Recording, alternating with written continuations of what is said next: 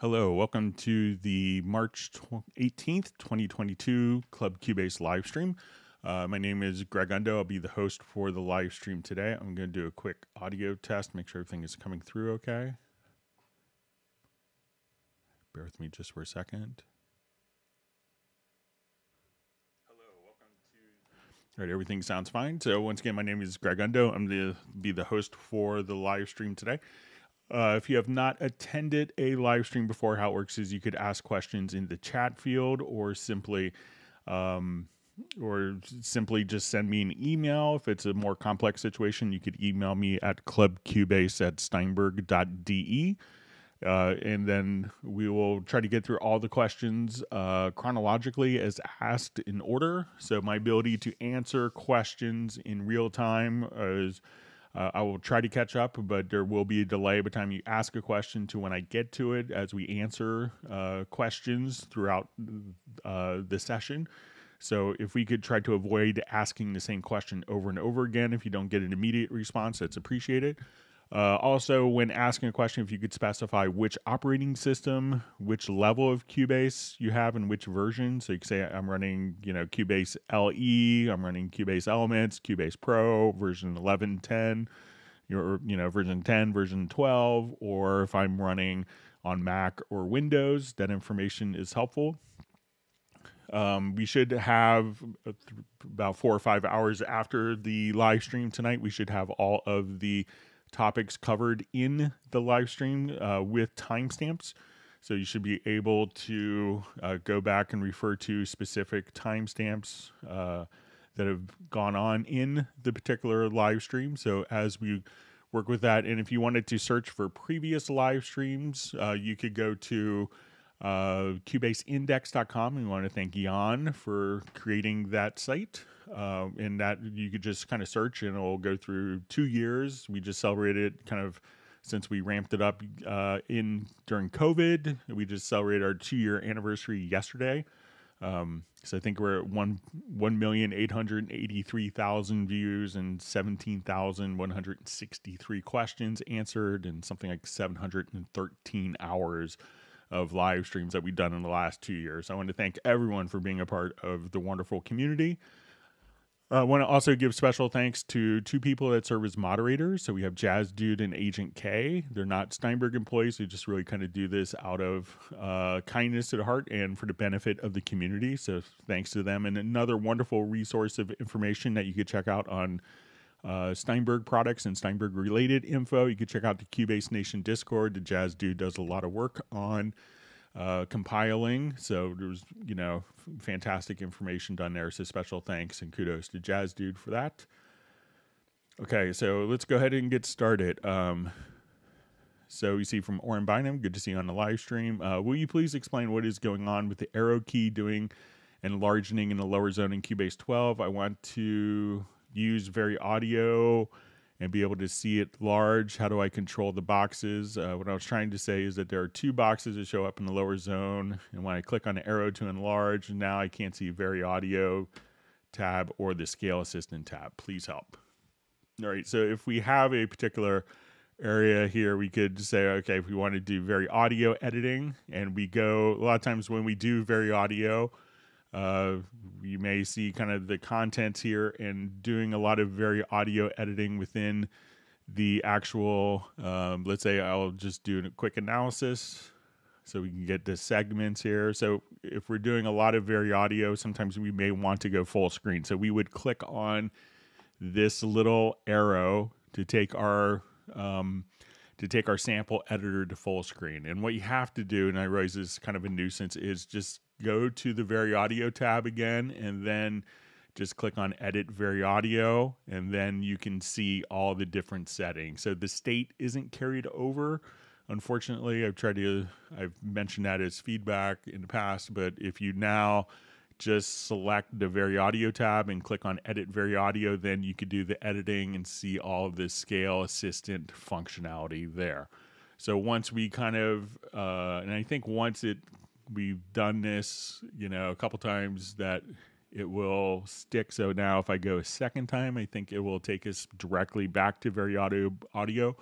But the first time is or just select the Vari Audio tab and then click on Edit Vari Audio, and then you could work with it in full screen. And then if you close it, you'll go right back to your uh, lower zone editor. So give that a try, Oren. Okay, so we see uh, just from Hepwa says after a year trying to get my Reaper interface to look like the Cubase one, I bit the bullet and saw when I saw Cubase 12. Very excited, quite a learning curve, honestly, but well done. So we're glad we're glad to have you in, in the Steinberg family, and welcome to the live stream. And we hope to see you on future live streams. Uh, so we just see uh, from Dallas LaRue just says, uh, Can you tell us something about your backup process? Uh, how many different ways? And do you have an opinion of Carbonite? A lot of times I have a lot of my stuff in the cloud. I, I don't do commercial projects a lot uh, where I need to have, you know, multiple copies. Um, but a lot of times what I would, I'm, I'm not familiar with Carbonite. Um, I would tend to maybe I don't. I'm not sure if that's one of the services. I know that there's one a couple years ago that could be causing problems. It was constantly kind of backing up, like while you were doing stuff, and it's maybe fine for word processing, but if you're recording 24 tracks of audio, so I think you know what a lot of people do is to back it up to um, like a Dropbox is pretty convenient, or just you know buying inexpensive USB drives. And most people I know will back it up to two different locations just in case there's a flood or something in the studio. But maybe some other people could share some um, backup processes that they use, and if anyone is using Carbonite. All right, and we see Luca joining us from Munich. Thanks for joining. All right, and we see Captenergy Music from. Uh, so we see you know Captenergy Music. He's from Pennsylvania. Thanks for being here. Okay, so we see a question from Oren. Uh, Hi, Greg. Will you please explain again how you can differentiate between your original vocal and your duplicated vocal when you're working in Vari Audio 12 and hear the vocal parts? Okay, so let me just jump to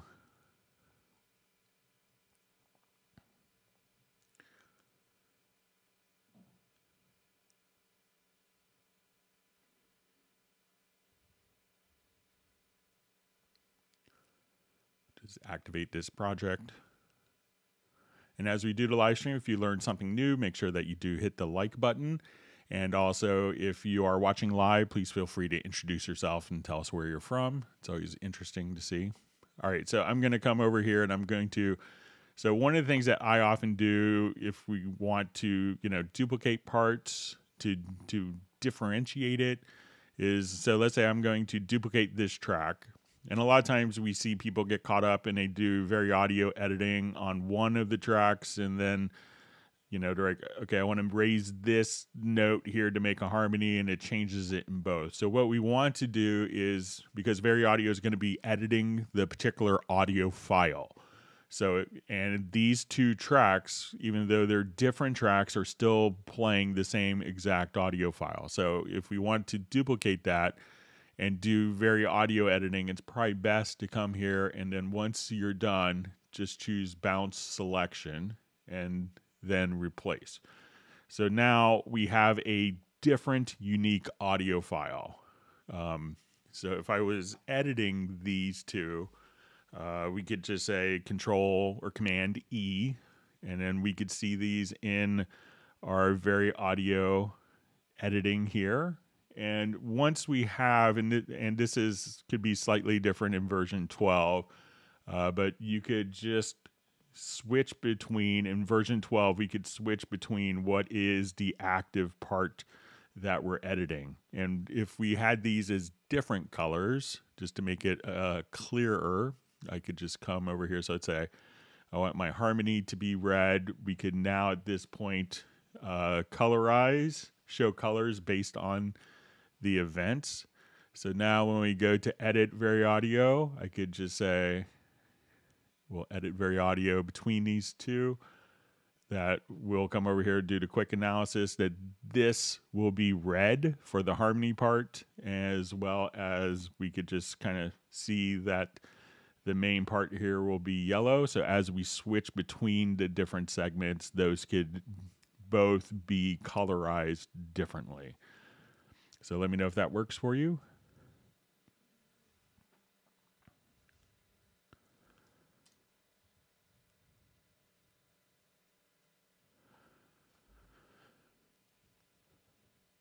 All right. Um, okay, so we see, uh, hello, sir. How to install VST sound? I'm a bit lost. I'm on Cubase Pro 12. Thank you in advance from Ali. Um, so really all you have to do, there's a utility that could simplify this process. Um, so we come over here, it's called the Steinberg Library Manager, and this is installed within uh, Cubase 12. So if we wanted to just come and say, okay, I want to go to like my Cubase sound files. Um, anytime that you see a VST sound file, so once once you're in here, you could choose kind of a path. Uh, so we could just choose your default library, default location. You could choose this. And then once you right click on a VST sound file, um, all it's going to do is you, you could right click on it and say open in the Steinberg library manager or double clicking on it like a .vst sound file you could just double click on it and it will launch this program and then it could move it automatically to the particular location. So try just double clicking on it and that will go to your default location. And then if you needed to move it to a different location or remove different uh, VST sound sets, you could do it here in the utility as well. So generator is not an installer, just kind of double click and then that will automatically launch the VST, um, the library manager, and then that will kind of move the files if needed to the default location. All right, so we see uh, John Costigan from Kenosha. We have Benny from Sweden.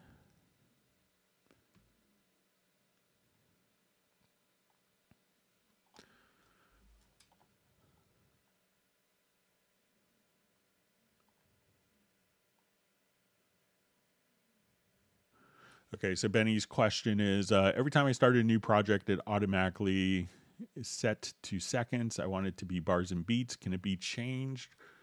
Okay, so let's say I want to do a new project here, and let's say it's set. I'll just do a brand new. So right now we're set to bars and beats. So I'm going to switch this, my primary time display, to seconds. And let's see if I do a new project.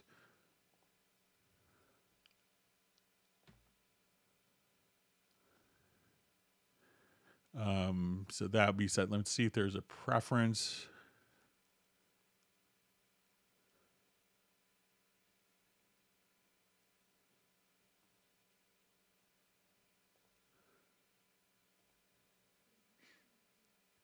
If there's a default setting for this.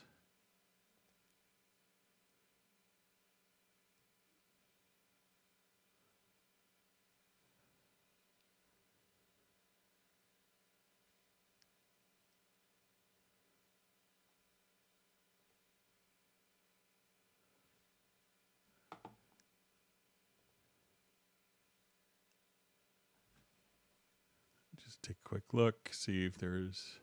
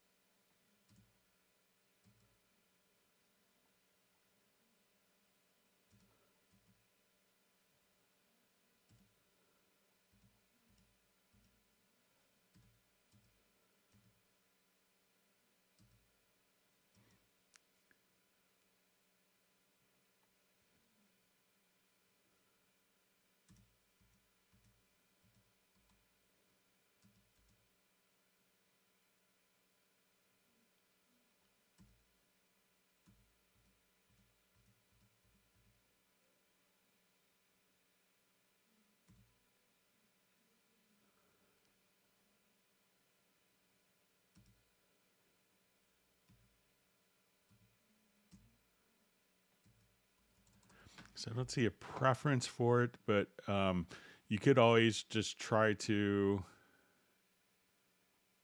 um, you know, start from a template that's set. Um, but if it's kind of going back and forth, if you hit the period key on your computer keyboard, you could just kind of toggle there, but check to see if your primary time display here is set to seconds and maybe you have it set to bars and beats here. Um, so yeah, it could be try setting it directly from here. So let's say if I have that set to time code and we do a new project,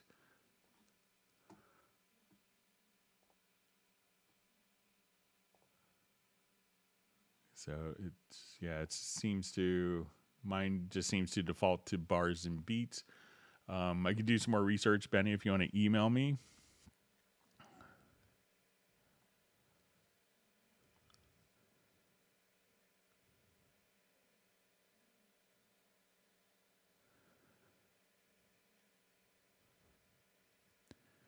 All right, so we see Keybase Junkie on the live stream, and we have Soren from Sweden.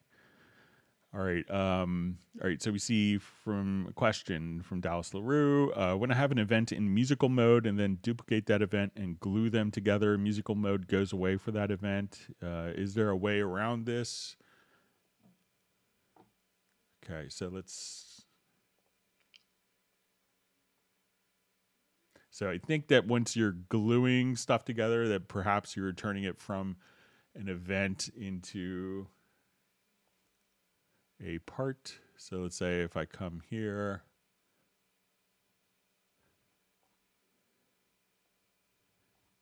and we have this event in musical mode. All right, so we're going to duplicate it. And then let's go ahead and glue these together.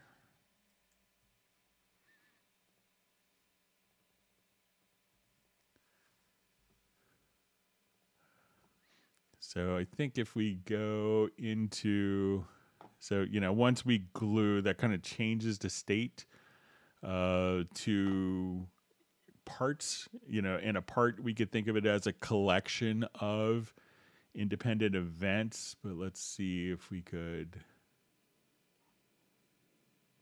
in the part editor, if we could place it into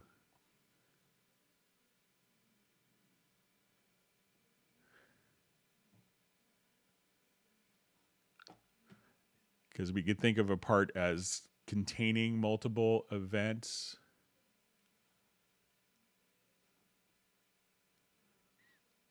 Let's see if we are in the part editor here. And I'll go ahead and, so when I do this, let's say I'm in the part editor and we're playing back at 120 beats a minute. And now we play back at, let's say 88. So the, the events are still playing in musical mode. Uh, let me just. So it seems, you know, like when we had duplicated this and glued it together, so now it's in a part that, you know, it's carried over the different events here. So when we look at it in the part editor, we can see musical mode. So if I just wanted to, again, just go through different tempo changes to make sure it's responding to musical mode.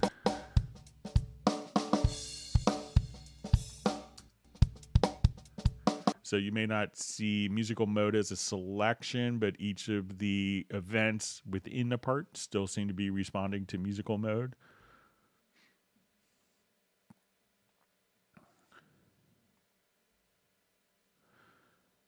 Okay.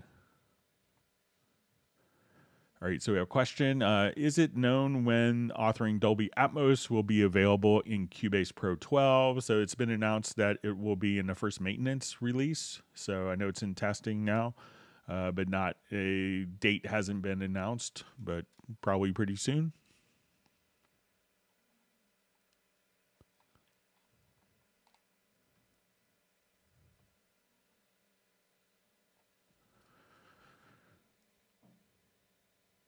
All right, so we just see hi. How is it to put an instrumental in time in Cubase since I put since I put it, but it does not enter synchronization with Cubase? Thank you very much. Um, so I'm not sure if it's a MIDI part or an audio part, but let's say if I take a drum loop here and I drop it into the project, and right now uh, we could select the event if we know if if the tempo is known of the event, like a lot of drum loops. So now when I come here, let's say I, I have my project at 144 beats a minute. You know, we could just have, you know, different tracks be in musical mode or not. So if you select the event and you see this little uh, quarter note here with this little squiggly line that indicates that it's in musical mode. So now that it's in musical mode, come here and just say 100 beats a minute. And the audio or MIDI will automatically follow.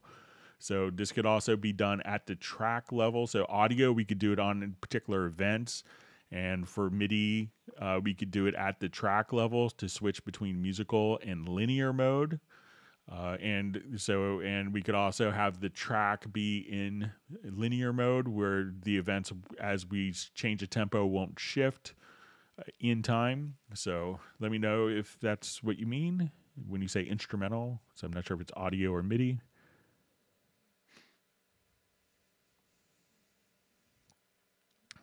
Okay, so we see uh, a question from Robbie Bowling going forward, other than a few exceptions, should we only be downloading VST3 plugins? You know, VST2 plugins will, you know, Steinberg's announced that they will still be supporting it for, uh, you know, two more years in the host applications. If you're running on an Apple M1 processor, VST2 plugins, since their development is stopped in 2008, won't ever be native for a Apple M1 processor. So if you have an Apple M1, that's when it's critical. If you have like an Intel based Mac, then it's not really um, it's not such an issue. The VST2 plugins work. Uh, in general, VST3 will give you you know better performance and better features. So if you have the choice between VST2 and VST3, I would always I would always go for the VST3. But it's more critical if you're on an M1 Mac. So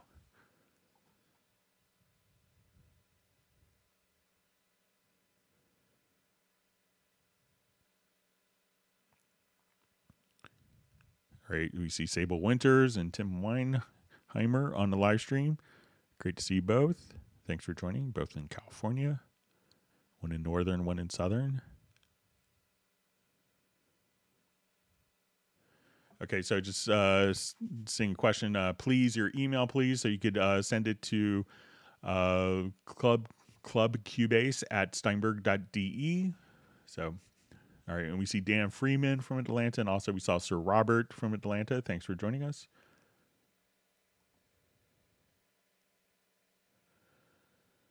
All right, so we just see a uh, question how to how connect the chord track. Um, so if we have a chord track on an event, uh, so if we want to connect it to a like to a MIDI part or to audio to have it follow, um, we'll go ahead and show that. Let me know if you wanted to do connect in a different way.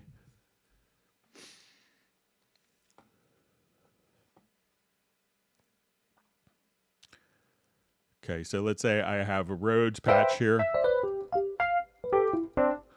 And I want it to the chord track. So as we enter in chords here, we could choose to uh, monitor through particular tracks. So I could just say, okay, I want this to always go through the Rhodes patch. So as I enter in chords, we can just come over here.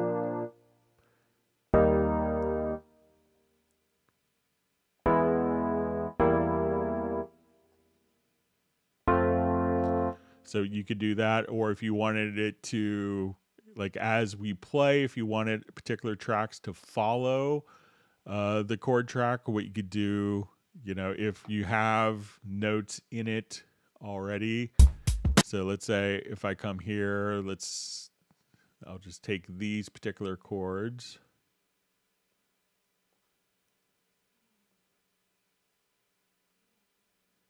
And if I wanted the MIDI data here to follow the chord track, all you'd have to do, just get this open here quick.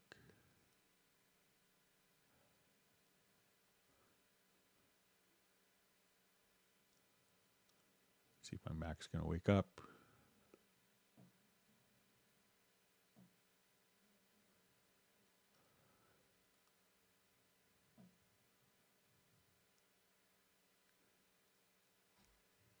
just restart my Cubase real quick here. Sorry about that.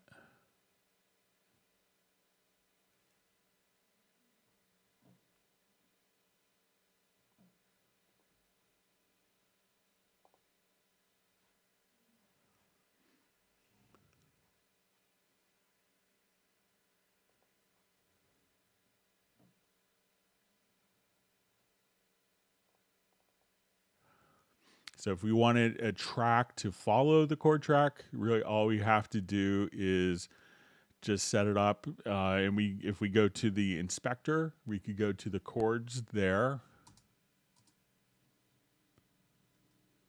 I'll show it to you real quick.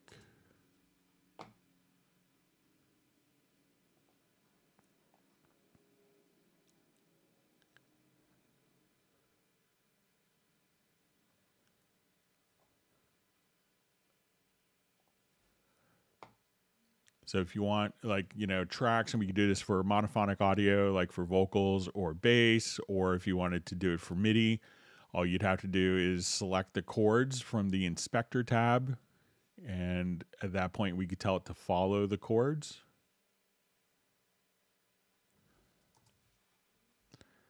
So as soon as we go to a MIDI part, we would go to the chords here and you'll see follow chord track and we could choose to just follow the chords or the scales or only root notes if it's going to be like a for a bass part. So let me know if that makes sense for you.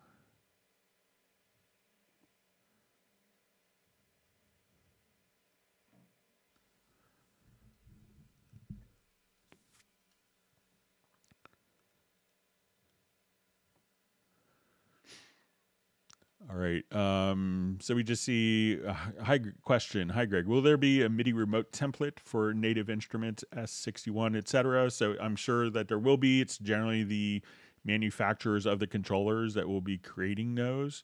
So, but there's already I, I saw in the Steinberg forums where people are already sharing different controller scripts. So you could take a look there.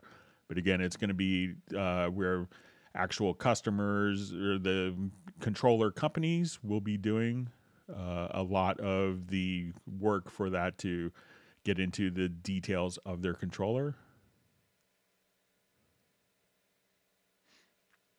We're just saying, uh, just mentioned there's a lot of native instrument device users. Yeah, there's lots of Nektar and Akai and M Audio and, you know, so all sorts of different uh, devices and controllers that people are using.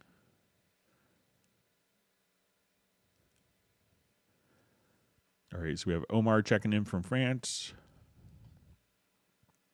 Jeff Zabelski from Chico, California.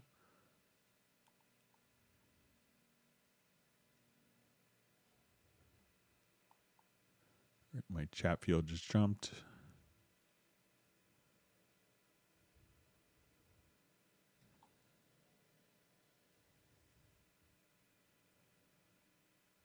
we have Crocante, Crocant from uh, from Los Angeles. Thanks.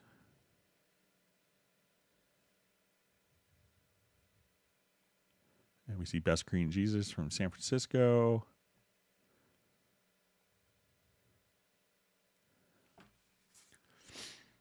Uh, so I just see, hello, Mr. Cubase. Can you please share your Nektar Panorama P4 MIDI script? Uh, thanks in advance. Um, yeah, so if you want to email me at clubcubase at steinberg.de, uh, .de, I'd be happy to uh, make a quick, I, would be happy to share my script of a Nektar Panorama P4. I'll be happy to send it right after, um, right after the live stream. So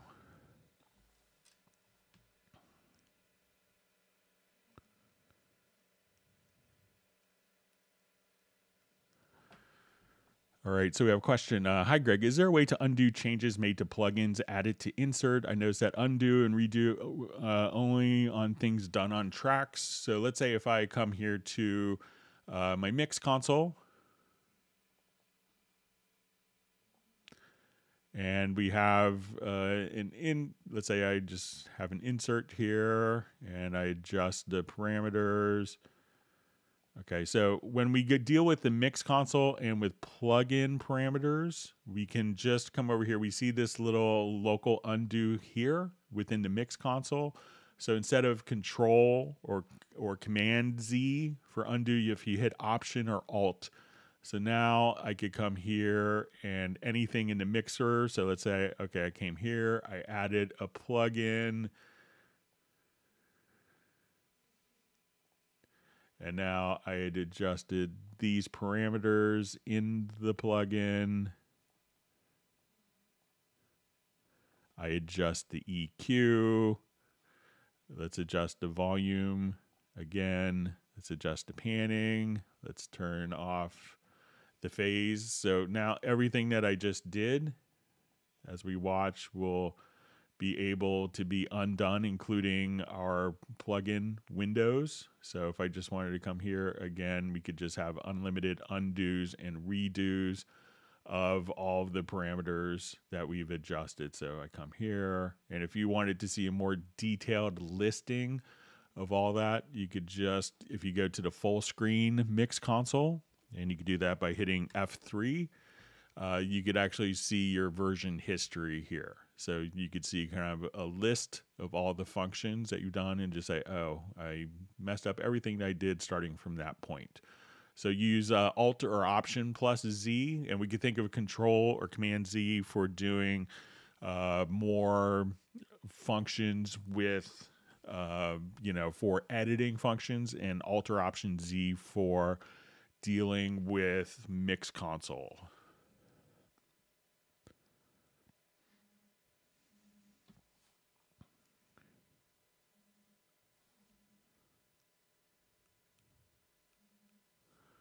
Okay, so just seeing maybe the default track time type instead of a preference. Um, so to, this, to the earlier questions in the preferences, uh, someone mentioned it's in the project setup. Thank you for reminding me my brain cramp. Uh, so project time displays, so try to set it here um, and see if that makes a difference.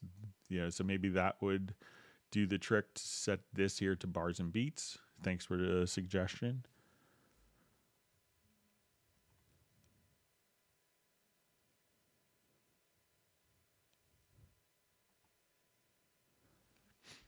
All right, so we see Kerwin Young checking in from Hotlanta, and he's excited about the recent Nuendo news. So, all right, so we just see uh, which mail was it again uh, to Greg? So it's probably uh, Club Cubase at Steinberg.de. I see Jazz Dude added it. Thank you, Jazz Dude. All right, wonderful to see Mandy Lane on the live stream. All right. Um, so we just see Jeff Sabelski says, I heard a rumor Nuendo 12 is simmering and shimmering for its release next month. I would like every German citizen to remember to take your one a day multivitamin. Thank you very much. So, yeah, I think it's coming along nicely. So,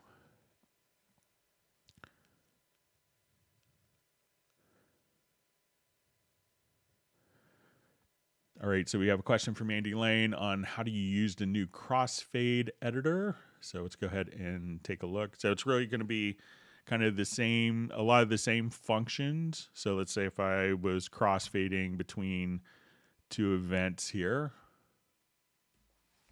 All right, so I would just hit X. So we still crossfade kind of the same way. And I think, I'm not sure if the crossfade editor, the extended one, is in Elements or if it's just in Pro. But now when we double click, we can see our crossfade editor. Um, and at this point, we could adjust, you know, like, okay, I wanted to take the volume adjustment here. We could decouple equal gain. So if I wanted to, you know, have a different fade in from my fade out volume points, we could also choose to have independent fade curves. We could use different presets here. You could audition just the fade out or just the fade in. And let me just make sure I, after I restart it, I probably don't have my audio connections here.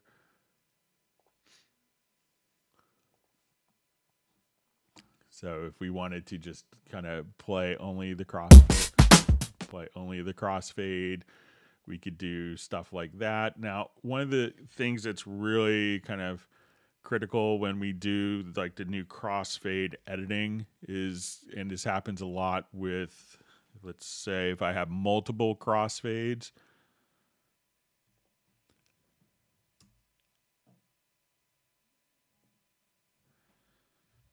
All right. So let's say I want to crossfade these two these two events here. All right, so now let's say if I had a crossfade here, one of the things that's really important, let's say if we look at like these crossfades, and I will just come over here, and this is a crossfade editor that had migrated down from Nuendo. So anytime that we would nudge you know, a lot of times if you do extensive crossfade handling, you may just come over here and kind of nudge particular events. But if we want it to, as we do nudging on events, a lot of times we have a chaining mode. So I could just say, okay, we want to. Uh, so if we have this, and this is previous Cubase's behavior, if I would nudge the crossfade, we could see that while I'm adjusting the positioning of this crossfade, that this crossfade and every crossfade after are kind of getting messed up and screwed up. But now when we go into chaining mode, and we'll just say until end, now as we do nudging on the crossfades, we can see that all the subsequent crossfades after will be retained for you.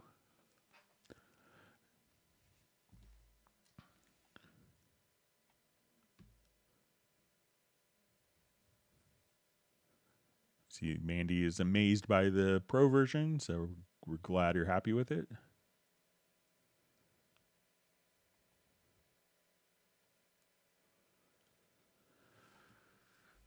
Uh, so we see, hello, have you planned a tutorial about classical orchestration and film music? Um, I haven't, but if you have like particular things. I mean, you know, those are kind of broad topics and I don't mind covering them, but you know, if there's a particular thing of how you wanted to use Cubase, and those are kind of often could be independent of Cubase and we kind of focus on, you know, using the Steinberg solutions. So if you have a question on, you know, how to do this for film music or I'm I want to accomplish that, you know, that would be better, but I'm not a film composer, uh, but I could help you with, you know, different techniques to get your uh, you know, to get your different work done for film and for orchestration. And, you know, I grew up playing in orchestras and all through college. Um, so I understand it, but, you know, if you have a particular application that you want, I'd be happy to help you with that. Um, but that's really kind of more the focus is how to use Cubase to do something. So See, Cubase Junkie says uh, the VariAudio snap vocals to scale is a really nice feature, as well as the FX modulator. So glad you like those. Mandy Lane saying she tried VariAudio yesterday. It's better than Melodyne, so that's great. It's nice to have the integration.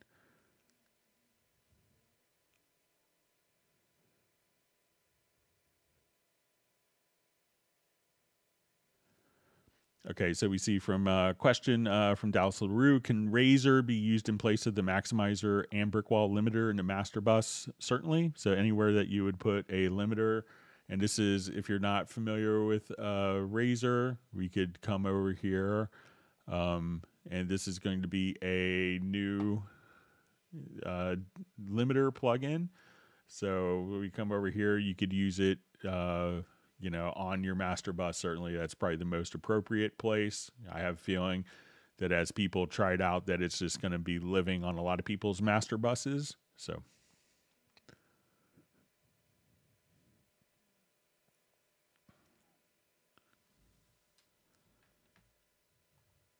All right, we have Stefan checking in from Sweden.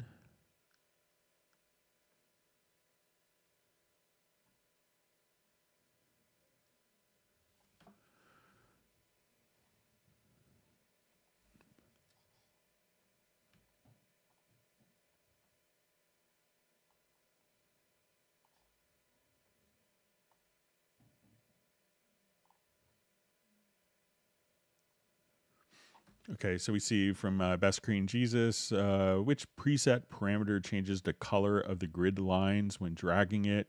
I have a dark background and the line it shows is pitch black. Okay.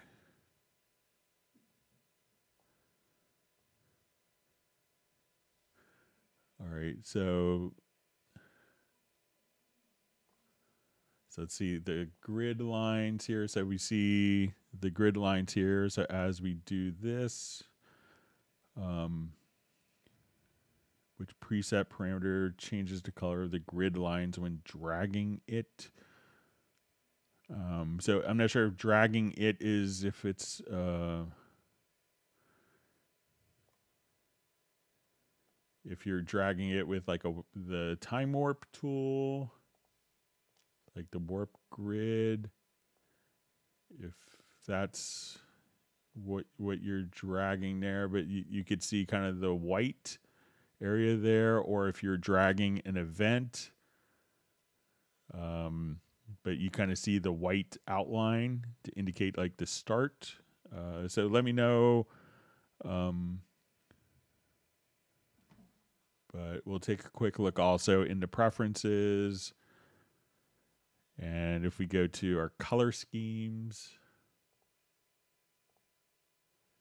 you could adjust in the editor area background, the grid lines color here or the project area backline. So, so maybe that would help, but if you could maybe let me know what you're dragging, that would be helpful and I, I could maybe understand it better on my end.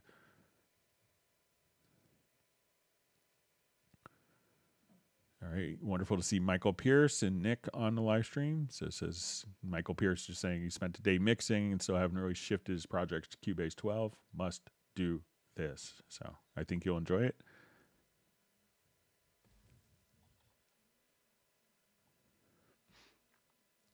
See, Mandy Lane's also liking the new SuperVision. That's great.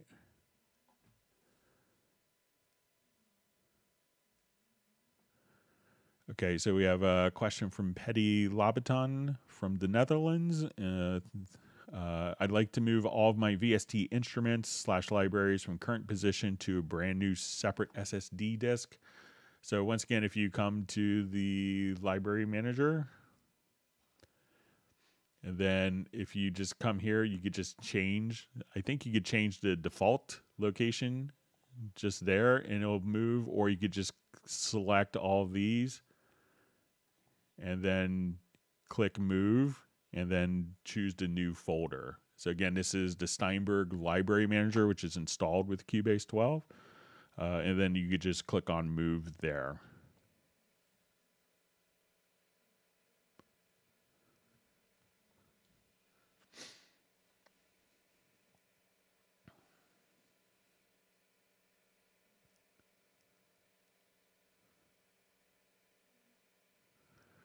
I uh, just see kind of a follow up. Can I do just that with the new Steinberg Library Assistant? So, yes, you can.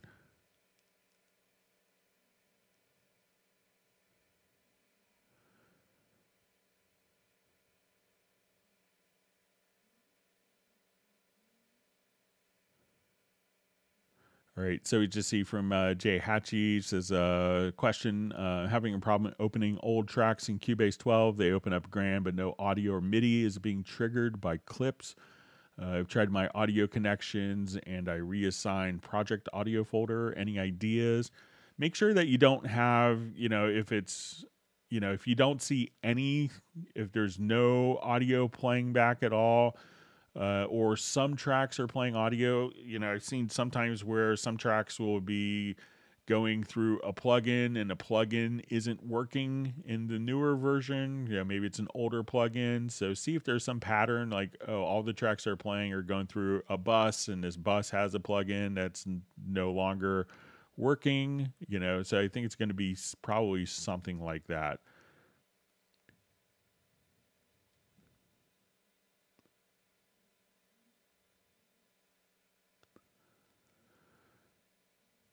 All right. Uh, so we have a question. Um, is it possible to drag and drop samples from the media bay on the right side to pads in Groove Agent? Pretty sure you can. So let's come over here quickly. So let's say I just have some blank pads. We'll come over here to our media bay.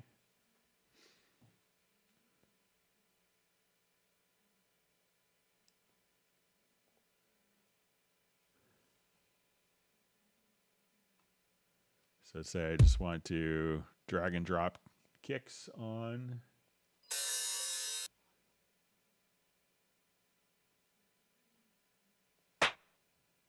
So we could just do it just like that. Um, and second question, is there a mute button for the pads when stacking multiple samples? So each of the pads, you could just click right there, and that would be the mute for the particular pad. So you have a mute and solo on the individual pads in Groove Agent. So let me know if that does a trick for you. All right, so we have Alan Nielsen checking in from Denmark. Thanks for joining and being a part of the community today. Uh, so we see how to get rid of tired uh, how to get rid of iLok pop-ups of expired trials. So generally, what happens, and it's kind of annoying that it happens, but it's really up how iLok deals with it. So it's kind of out of our realm. But a lot of times, once you do that, um, you could remove the particular plugins, you know, from your uh, you know, from the system that are expired.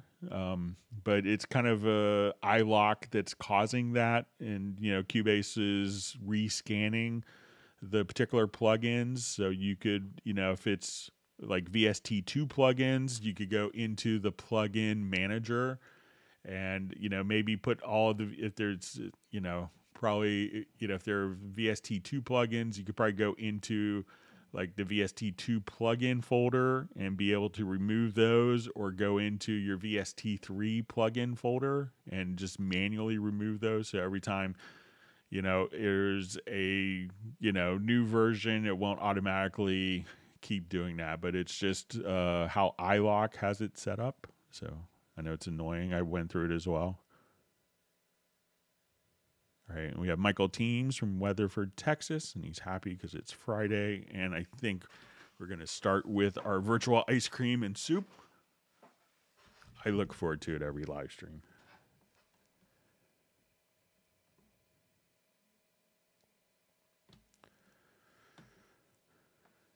All right. Uh, so we have uh, hi Greg Emmanuel from France. Uh, when I when I press play in the sample preview window right side of Cubase, I can't hear anything. Could you help me out on this one? So we could think of this as basically there's no audio assignment. There's no track for these to live in when we do this. So this actually gets routed through the control room so try going to your uh, studio menu and don't go to your studio setup. Go rather to your audio connections and try coming over here to your control room. And you, what you want to do is to right click and you'll be able to add a monitor and set the routing there. And in the outputs, and this seems counterintuitive at first, just set this to not connected.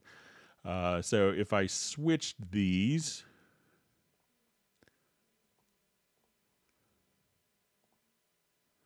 So I will have my output there. Then when I go to audition, I don't hear anything. But again, it's because these files aren't on a track, so it doesn't know where to assign it. So go to your audio connections and set the outputs probably uh, this seems counterintuitive at first, but you just set it once. Don't worry about it. Set that to not connected, but still have a stereo output. And where your monitors are connected, set that to the Yamaha. Uh, set that to your audio interface where it's going out, and now you could just preview away.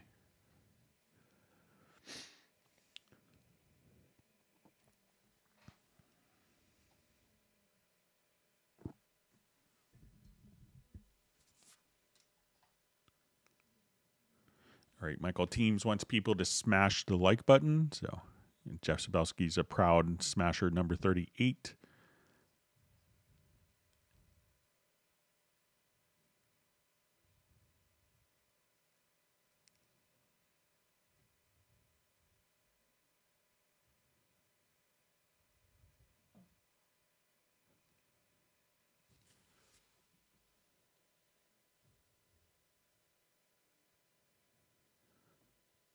Right, so I just see from Cubase Junkie the Steinberg vocoder should come back. So I think we just kind of uh, bundled a third party vocoder, but I think it'd be cool to have a vocoder. I still miss kind of the old uh, orange vocoder from Prosoniq. Just such a very bold interface. But we used to distribute that way in the old days, 20, 25 years ago.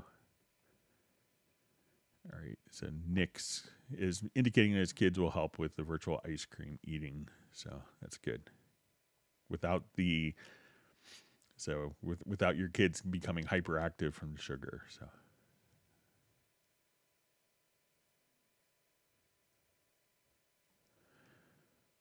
Uh, so we see a question from Chuck Green. Any way to change the event mute color to something different than bright white? Um, kind of like what we see here. Uh, I don't think that there's a way to change that because a lot of times when stuff is recording, it could turn red. Uh, so, and a lot of times people may not have a color. So if we come here and we add an audio track and if we have an event here, it's kind of it could be gray so, but let me just take a look and preferences. I don't, I mean, don't think there is, but I'll take a look.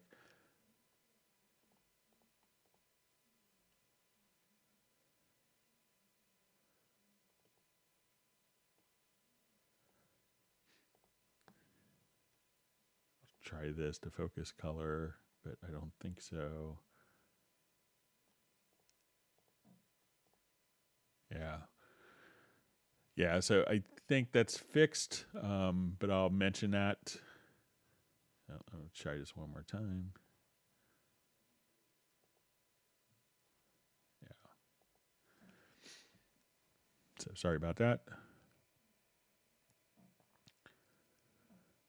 All right, so we see uh, P Zone 36 just saying hi from the UK and thanks for the undo tips. Um, see, Ramona's diaper says, uh, "Nice. I drop in for two minutes and learn something useful. You rock, Greg. Thanks." All right. All right. So we have Shubus, Shubus from Panama. Thanks for joining us.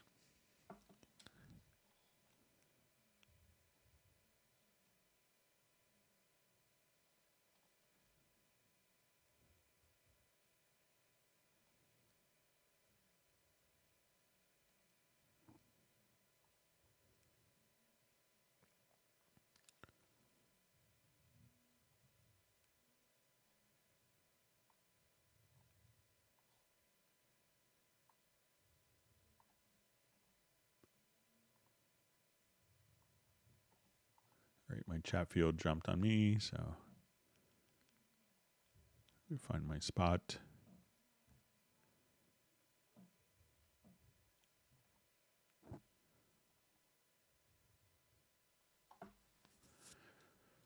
All right, so we see from uh, Petty says a uh, question: Can I move VST, including three parties from SSD to another with the library assistant just like that. So the VST plugins you probably want to keep in the same spot, and those files are very small.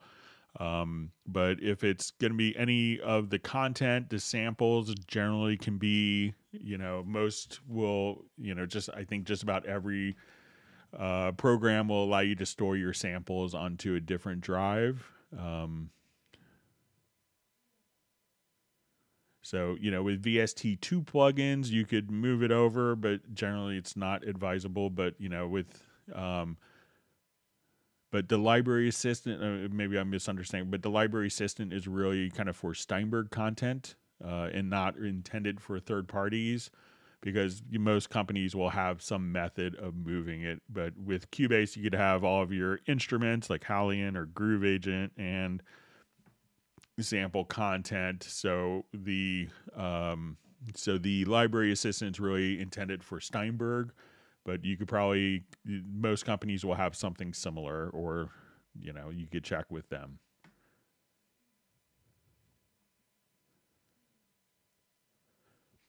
Uh, so question, can I tune VariAudio to other than 440 hertz? So, you know, as we do tuning in VariAudio, it's going to be set up for uh, like when we snap events, it's going to be set up, you know, for tuning to 440 hertz. So we want to come over here.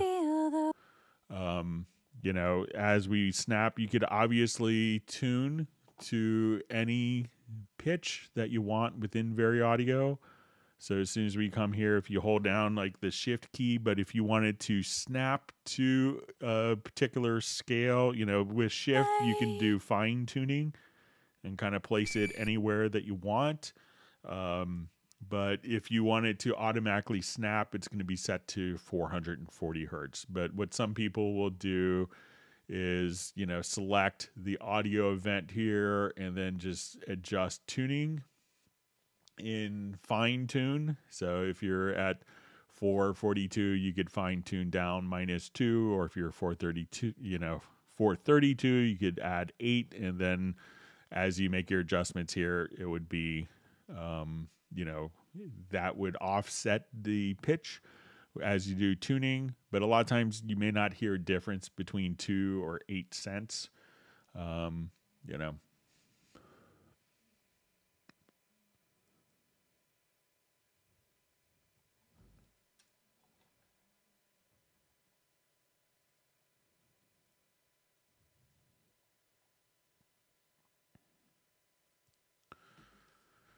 Okay, so we have a question from Jeff Zabelski. Uh, what's the easiest slash fastest way to match tone and timbre of multi sessions of Woodwinds tracks when each session had a different mic positions and distance? Uh, you know, sometimes adding reverb and kind of uh, is, is, always an old trick to kind of match stuff up like that. Um, one tool that may not be as obvious uh, if you want it, if they're if their tones were really drastically different and you had a hard time kind of figuring out, you could come over here to uh, the curve EQ.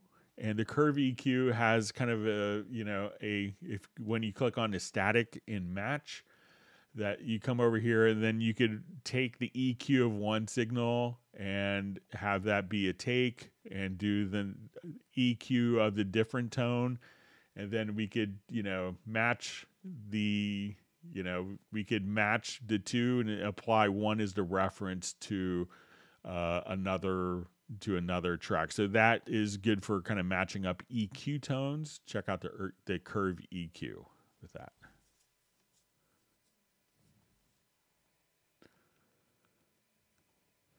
Uh, so we have a question um, is there a sound quality difference between Cubase on a Mac or PC? No. So sound quality is the same. So all right, and we have Samson Strike checking in from Austria. Thanks for joining us today. Always wanted to go to Austria and see Vienna. It's on my bucket list.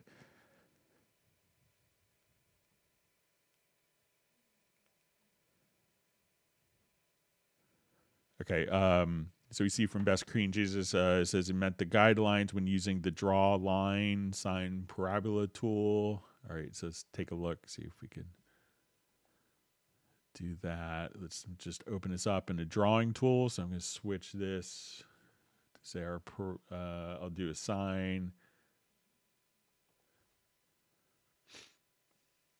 Okay, so I see kind of with the dark background. So I think that's kind of fixed. Um,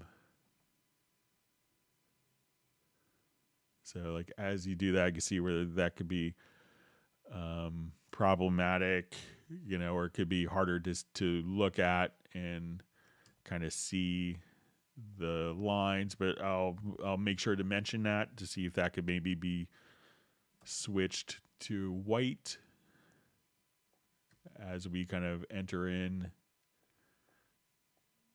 like we start off white um, but if you have some automation in there like some automation event you could kind of just apply the contrast like that see if i can not miss my control key multiple times in one question all right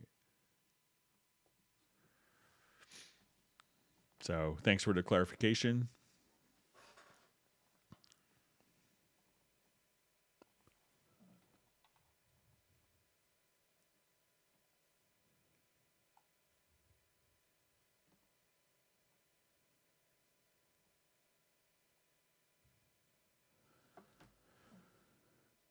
All right. Uh, so we have a question. Um, has to do with purchasing Cubase via Crossgrade option as I own Pro Tools in Ableton. Could you kindly explain the process? All right. So let's come over here. Thanks for your interest in becoming part of the Cubase family.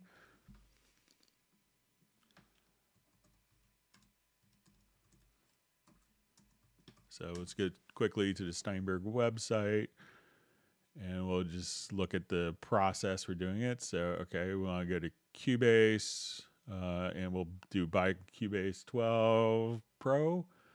Um, and at this point, you'll see full version, but you could choose competitive cross grade. Um, and then, so these are all the different items uh, that you that are available. And let's see if there's like a little let's see if we add to cart now.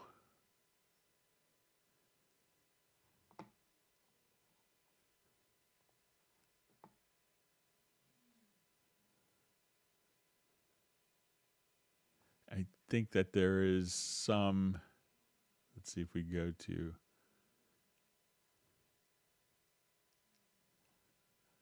but I think you may have to at some point in the process, um, you know, have some verification of it. Uh, I haven't done it in a while, but I'm sure if you kind of go through this process, that would be kind of all you have to do. You don't have to give up your license of your other programs. We don't want them. Um, and that's really all you have to kind of go through that process. All right, wonderful to see Spike Williams from Cardiff in Wales. I'm sure I pronounced that incorrectly.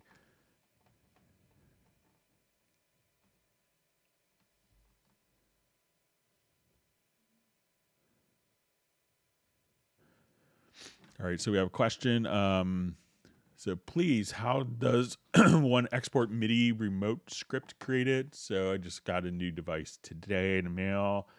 Uh, that I got the Choiceos 100. This cool little controller. So let's say I had this set up for my quick controls.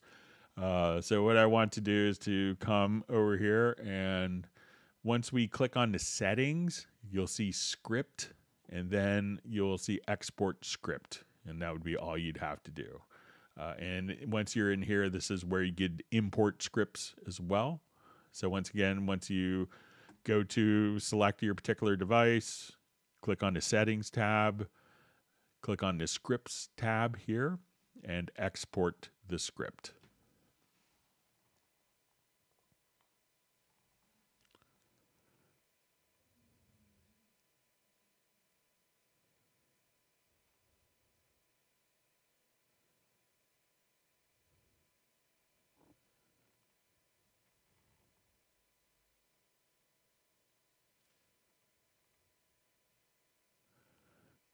Okay.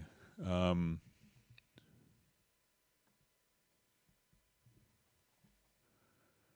Okay, so we have question one. Uh, I set up MIDI controls for the knobs on my contact keyboard, uh, which seem to be routed okay, but only move the controls by a tiny degree.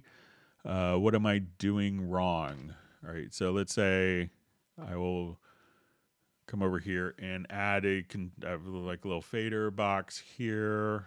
Uh, I'll add, let's go to my surface editor, and I want to come here and let's add a button or let's add a fader.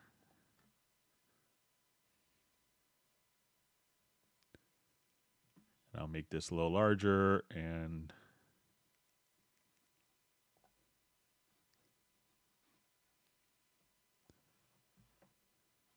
okay. Let's see if I have So I'll just go do a quick learn there. So say this is my modulation. Um, okay, so as soon as we do this, um, you know, you could check a couple of different areas. So you'll have, um, you know, the resolution. You know, make sure that's you probably want that set to standard.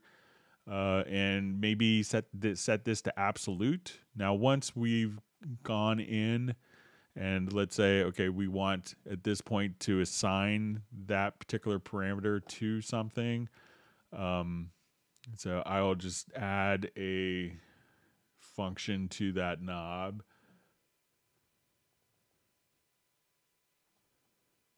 So let me come over here. I move the parameter assign that function but also you could see scaled takeover um, and you have minimum and maximum values within the mapping assistant. So maybe it got kind of assigned there.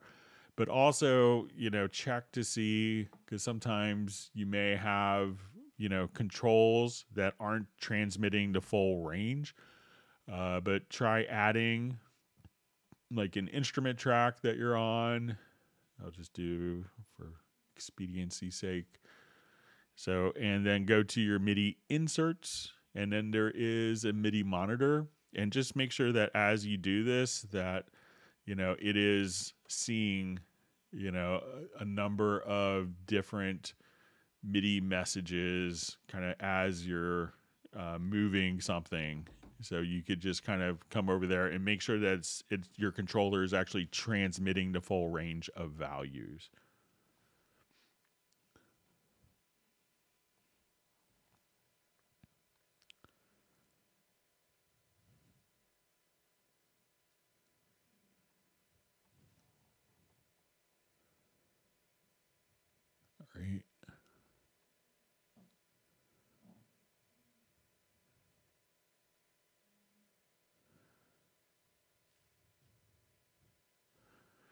All right. So we see. Uh, um, so just a question. Hello, Greg. Uh, is anyone else having issues when assigning pads in the new MIDI remote section and losing the ability to play the corresponding keys from the keyboard, C1, C sharp one? So once you've defined a particular, you know, function for the MIDI remote, that will kind of take over it and block it from other functions. So, you know, one way if, you know, so it may not if you wanted to use those particular functions for you know you know for midi notes you know try not to assign them because otherwise you know the program is looking for that midi message not to be transmitted as to play an instrument but for the particular control uh, control functionality that you've defined. So all right michael teams is granted me my me my family and myself one gallon of blackberries and cream ice cream. So thank you. Look forward to having it with dinner.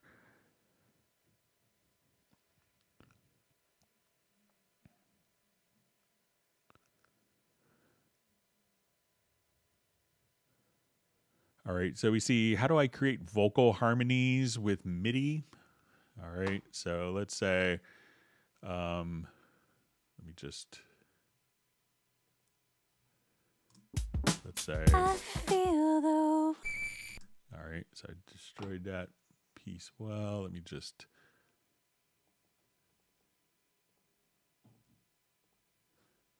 I'll do it on another piece.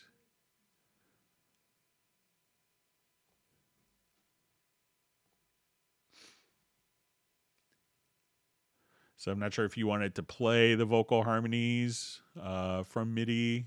So I don't think you could do harmonies uh, from MIDI in an easy way, but I'll try one plugin that comes with Cubase first.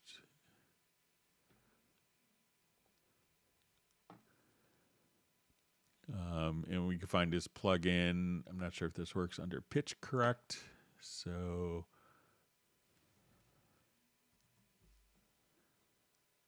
as we do this, I want to have my scale source be um,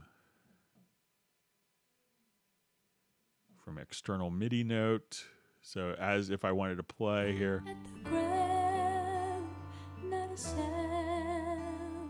And I want to just assign a MIDI track here. And let's route that MIDI track out to our uh, pitch correct plugin. So now as we're playing, if I wanted to just play the MIDI keyboard.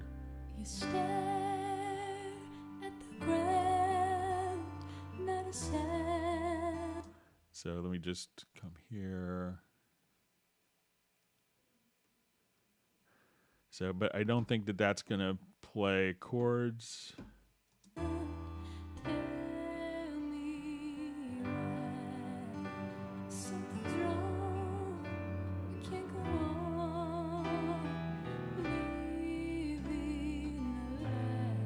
So, but what you can do is if you have a MIDI part here, um, we could take the chord track and I'm going to go to the project menu and let's get a chord track and I'm going to create chord events. We can do this from a MIDI or audio part. Uh, so now that we know what the chords are, I could just come and select arrange and let's go to our project menu. And at this point, we want to go to my audio menu here and we'll just say uh, generate harmony voices. I'll do two harmony voices. And as we listen to it now from that MIDI,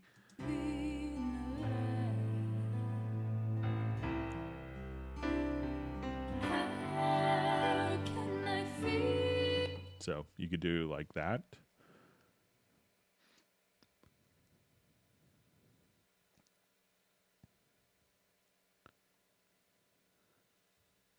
Okay, so we see from Michael Teens, and I'm going to answer his question just because he gave me a gallon of ice cream. I'm, I'm easily bribable. Uh, how do you change the name of your markers into marker track? All right, so let's say uh, I have a marker track here.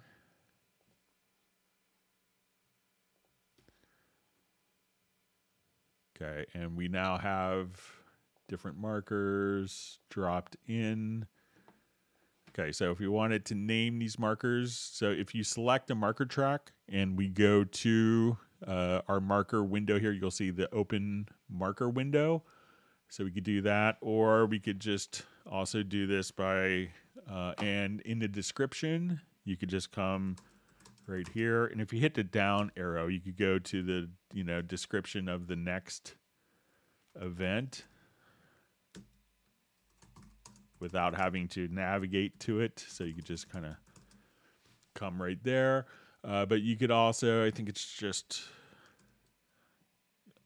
Control or Command M will also allow you to do it. And then as you type in the marker descriptions, that would be the name for the marker tracks just there.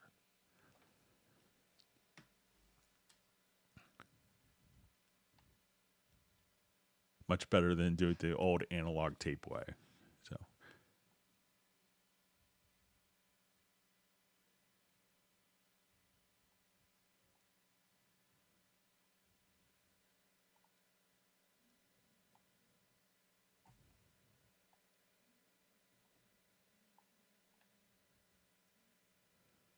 Okay, my Chatfield jumped on me. All right, so we see. Uh, thanks, Greg, from the Netherlands. Uh, Cubase only allows mix one and two in the control room. How do I switch between mix one and two? Um, so let's say you know if we. So I'm not sure if so if we want it to come to the control room. So I'm not sure if this is in the monitors uh, or the different uh, cue mixes. But let's say if I was here, you know, once we come over here, we could, if it's between different cue mixes, we could just click here in the control room. So I could listen to cue mix one or like the mix in the control room, the external Q Mix 1, Q Mix 2. If it's switching between different speakers, we could just see like A, B, C, D. Uh, or you could switch in the monitors tab here, and then you could see the QMix switch. But if you wanted to listen to the different Q mixes, you could come over here, listen to your internal mix, and then listen to someone's cue and listen to an alternate Q mix. And you could pick and choose directly there. So let me know if that helps.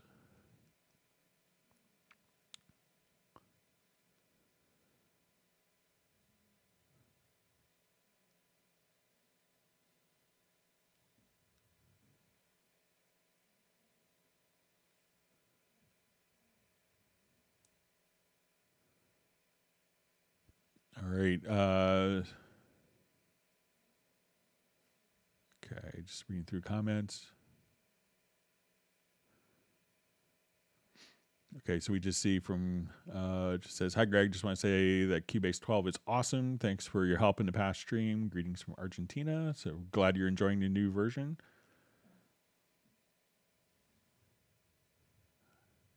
All right, so we see from uh, Oren Bynum, uh, how do I set up my media bay back to its default settings? I did something by mistake that changed things around in the media bay. Now it's not working like it used to. So if you you know if you want to email me a picture of how your media bay is set up, I'd be happy to take a look at it. But you know, make sure that you know you're gonna have like your different sections here, so we have kind of the right zone where we can do kind of attribute editing, and we see the left zone. So at this point, we can say, okay, I just wanted to see my factory sounds. You could switch between logical and attributes. So if you wanted to search for particular things and each of these, we could come over here and pick, you know, different, uh, different, you know, categories if we wanted to. So if we just wanted to come over here and say, okay, I wanted this to be, you know, different categories or track numbers, we could choose kind of different settings uh, directly there.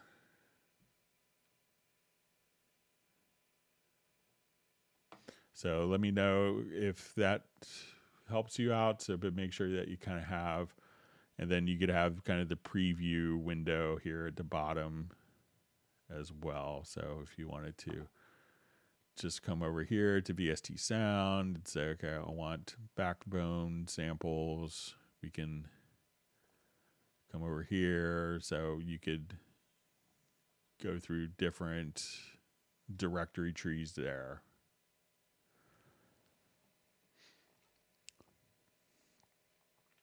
Uh, so we see question. Hi guys. Uh, I was wondering where I can find a fast stereo to mono uh, button inside Cubase for mixing in mono. So in the control room, once you have your control room, you can see down mix presets, and then you could just click right here. So now we're kind of everything will be in stereo, and then you could then choose to monitor it in mono. So if you come here.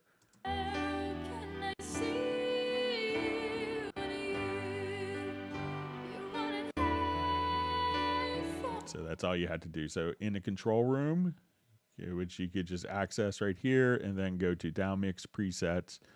And then you could even have a keyboard shortcut to navigate to uh, to downmix if you wanted to, or to go back and forth between them.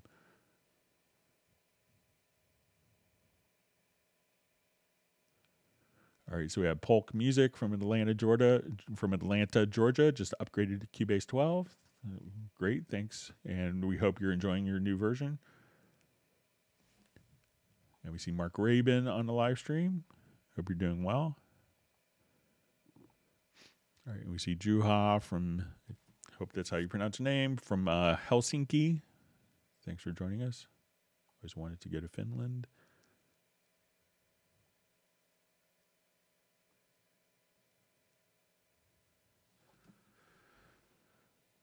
Okay, so I see a uh, question in a channel editor when comparing frequencies for masking. Why is there no change in the spectrum level when I change the fader value?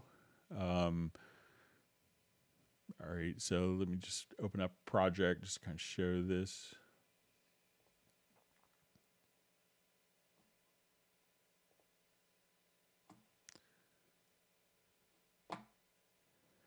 All right, so let's say I have my kick. And my bass here. And I wanted to find, so I'm gonna go to the channel window here. And we can do kind of the comparison EQ. So I'll say, okay, we wanna look at the EQ of my my kick drum and let's look at the EQ of the bass. So now at this point, I can see these orange frequencies are um, the bass. And if I wanted to EQ the bass, now we can see that these particular, I could EQ the bass. And if I click on my kick, and we see that the color of the EQ band changes here. Now, reason why you don't see change is because that EQ is happening before the fader. So that's why you don't see, you know, these particular e- EQ changes being affected, the frequencies being affected, because that EQ is pre fader. Because if we think of the signal flow going from left to right.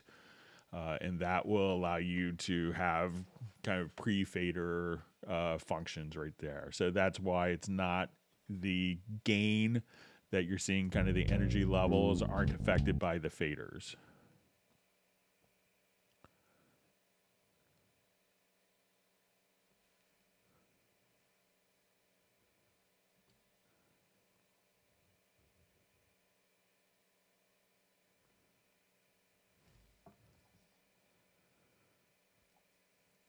So Benny's just mentioning he loves being able to make a chord track out of audio, awesomely smooth. Um, all right, question from Taylor Sapp again. Um, in 10.5 and earlier, when uh, more than one project is open, the current project automatically activates. This stopped in 11. Is there a preference to return to this behavior? Um, so let's come over here. So what would happen a lot of times, let's say if I jump to uh, a different project here, you know, we, we could just see, do you want to activate this project when opening? Um, so, you know, we have this option. And the reason why, so if we wanted to activate, you could just do that. And the reason why, what would happen, and we would see this sometimes we have composers and it could take like four or five minutes for them to load up their template. And what would happen is if a project was was closed, it would automatically activate a different project. So, but it may not be the project that you wanted to be activated. So you may have to wait four minutes and then deactivate it to activate another project. So that's why the behaviors changed. Um, you know, so there's lots of complaints about that. But as soon as you go to open a new project, just choose activate and then it will automatically be activated so that doing that doesn't that you know because you may want to open up a project and just copy a file over. So say oh i really just want to take this file. I don't want to load up every single sample. I just wanted to access this file from an inactive project and drag it over to an active project. So it was just kind of more of a courtesy for the change in that behavior. So it's just really if you just hit enter at that point, it will automatically activate the project, but it doesn't kind of force you to, uh, if you want to just copy over one particular file from a project to load up that project.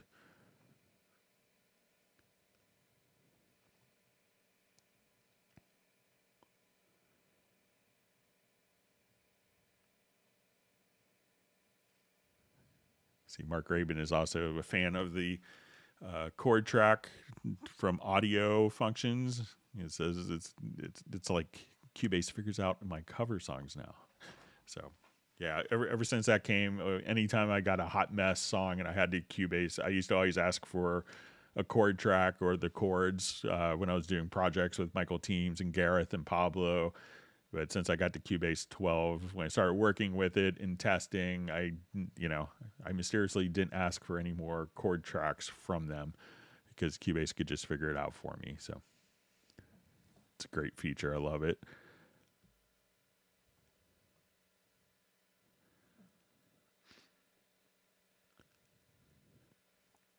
Michael, all right, Michael Pierce has gen, has has his soup selection for the day. Uh, so it's peas, butter peas, a big bunch of spring onions, scallions, vegetarian stock, smoked bacon if that's your thing, mint and cream, frotch to thicken, cornbread, rook, I guess Roquefort cheese on the side. So always a good selection, Michael Pierce. Thank you.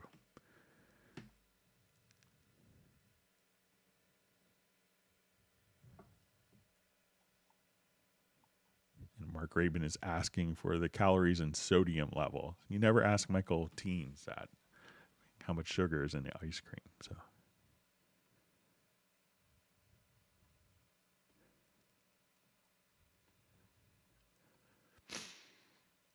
All right. Uh,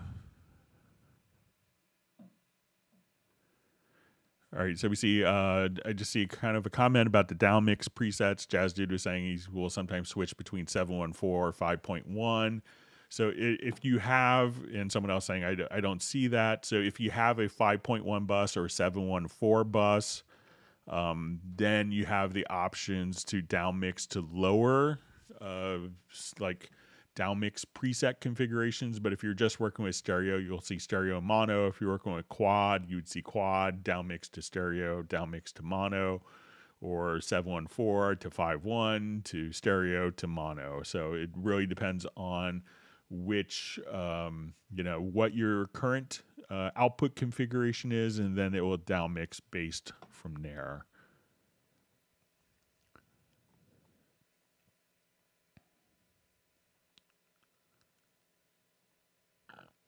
Right, so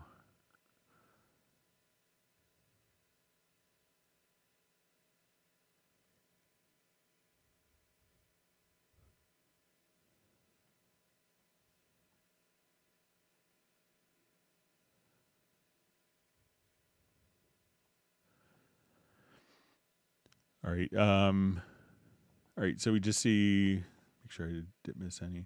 Okay, so we have a question. Um, can I change the direction of the mouse wheel when zooming in on a grid like G and H keys? All right, so if we come here, um, so I think when we, so I'm going to come here, let's say I hold down my control and then I move up to zoom, and this may be Let's check on, it could be on the operating system preferences. So let's say if I come over here to mouse,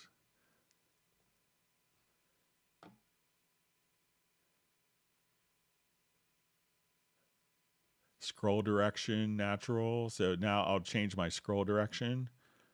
So now as I zoom up, so I think Let's see if that changes it.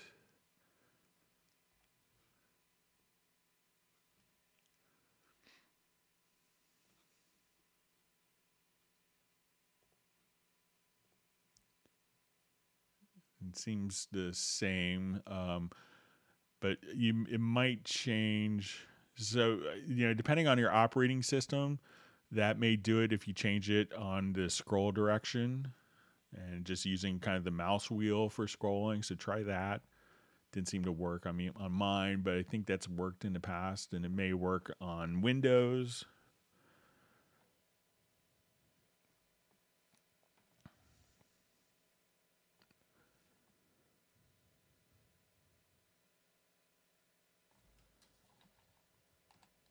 Okay.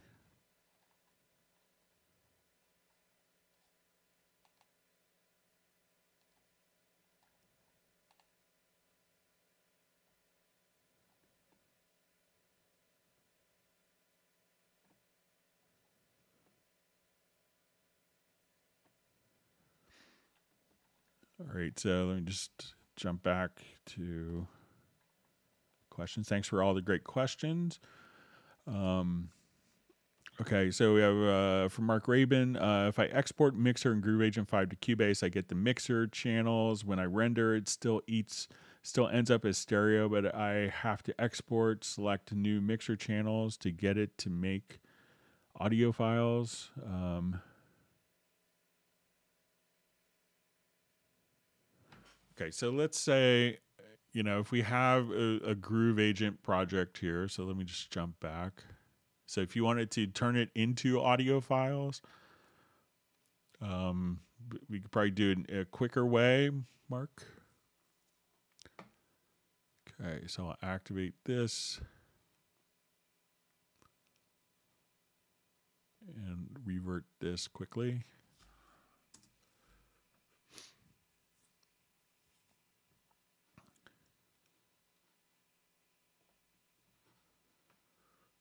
Okay, so let's say I'm going to just come and I have, let's say if I have Groove Agent set up here and I have my pattern in.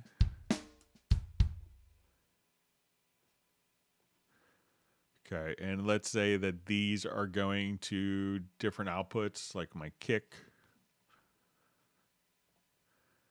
is going to output two, my snare to output three, hi hats, let's say output four, my overheads to output five, and my room to output six. So now when I play, uh, we'll just solo this track and we look at our mix console. We can say that these will all be kind of spread out. Um, but now if I wanted to, let's take uh, like this track here, and I'm just going to do a render in place.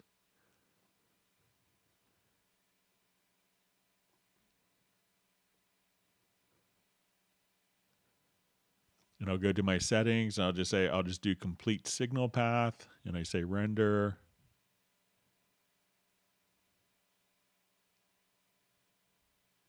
Let me just check the my output configuration again.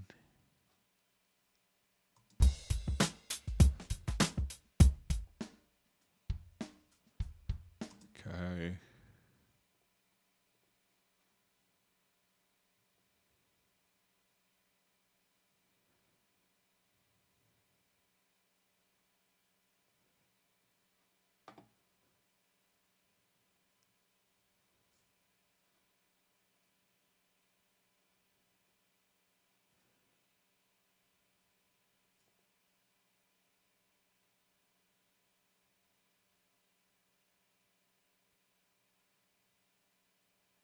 Usually we can just kind of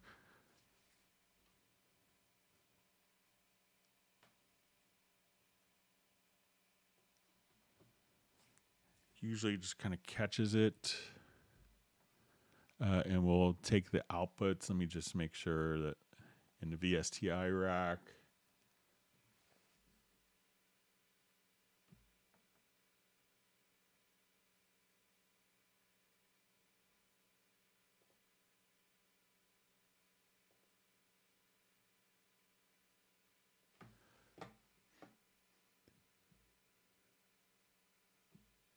just try my render settings again.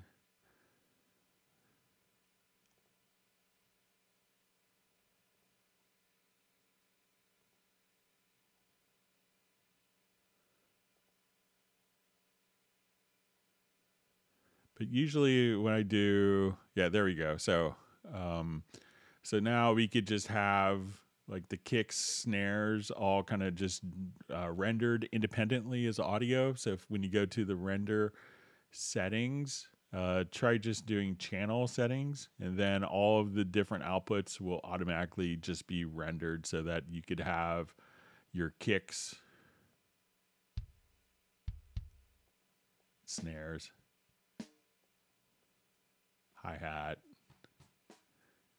overheads, and your room mic. So, so if you're looking, um, as a way of kind of rent, you know, having those files automatically split out, you know, and why it's in stereo is because it's going to have stereo processing because of different effects on it.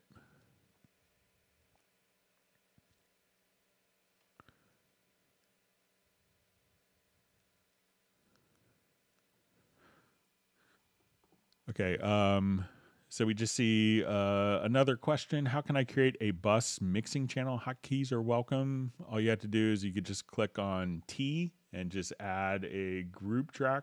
So when you just click right there, and at that point, your group track is automatically added. If you wanted to select a number of tracks and assign those to a particular group, select them, right click, add group channel to selected channels, and then it will do all the routing for you. So just adding a group track.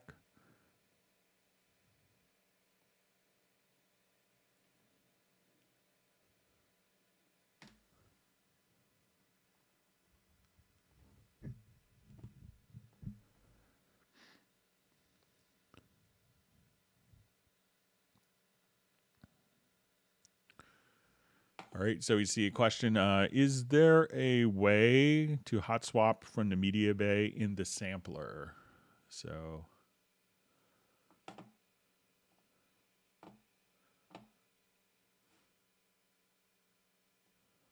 just open up project with sampler track stuff in it.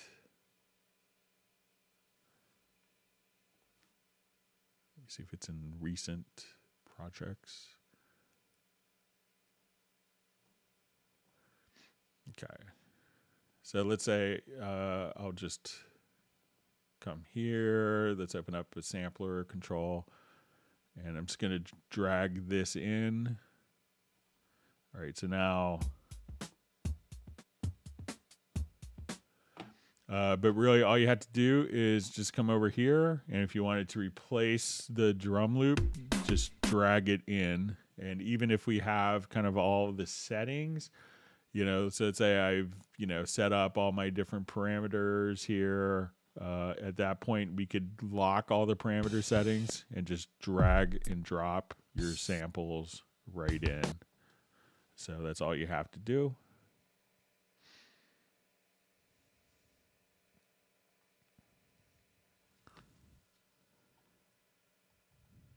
And you could do that while it's playing as well right, so we have Matt Matthew Elston checking in from London, wishing everyone well. Thank you. Thanks for joining the live stream. All right, Michael Pierce is saying, uh, time to massage the like button.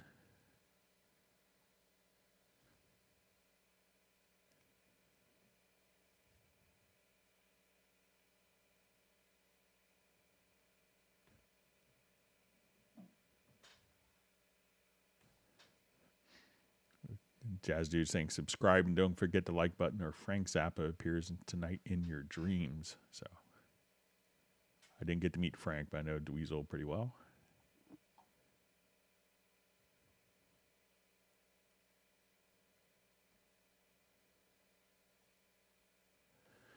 Okay, so we see, uh, hi Greg, if I press play in Cubase, there's always a short delay. So I can never start it in sync with something else. Uh, how can I get rid of this delay? I've tried everything so far. All right, so, you know, when you come over here, so that delay could be caused by different plugins. So if you look in Cubase, just to give you an idea, let's go to the full screen mixer. And there is a setting here where you could see channel latency.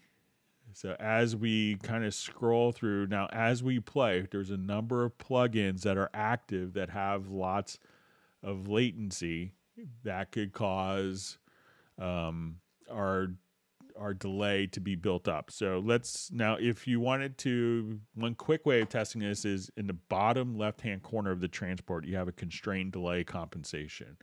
And what that will do is bypass plugins that have a lot of latency. So now, with that disabled, let's say I have some big plugins on my stereo bus here. So I'm just going to go to my inserts and I'll go ahead and just activate a couple of plugins. So we see 246 milliseconds of time. I'll just add some more multi-band compressors when not in live mode can add a lot of latency. So now when I hit play and I hit stop, there's a delay. Uh, caused just by the plugins there. So if I so try hitting the constrained delay compensation, and then as you hit the spacebar, those plugins are bypassed with and if you do not have that on you may have delays that are being caused by plugins so try just using the constrained delay compensation if you haven't done that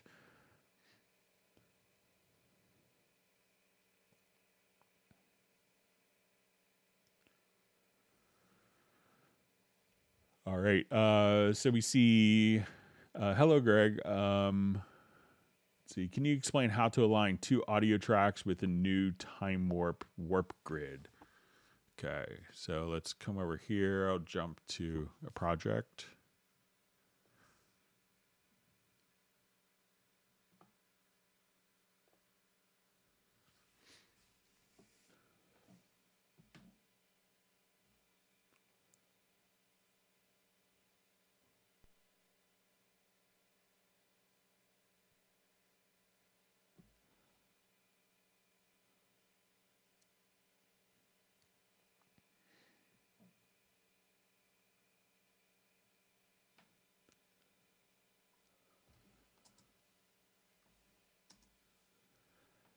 Okay.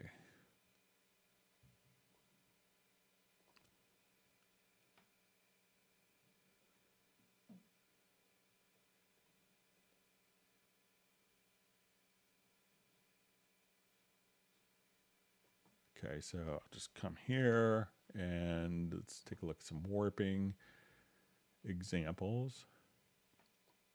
Okay, so I had Gareth from the live streams sent me a guitar part that was purposely out of time.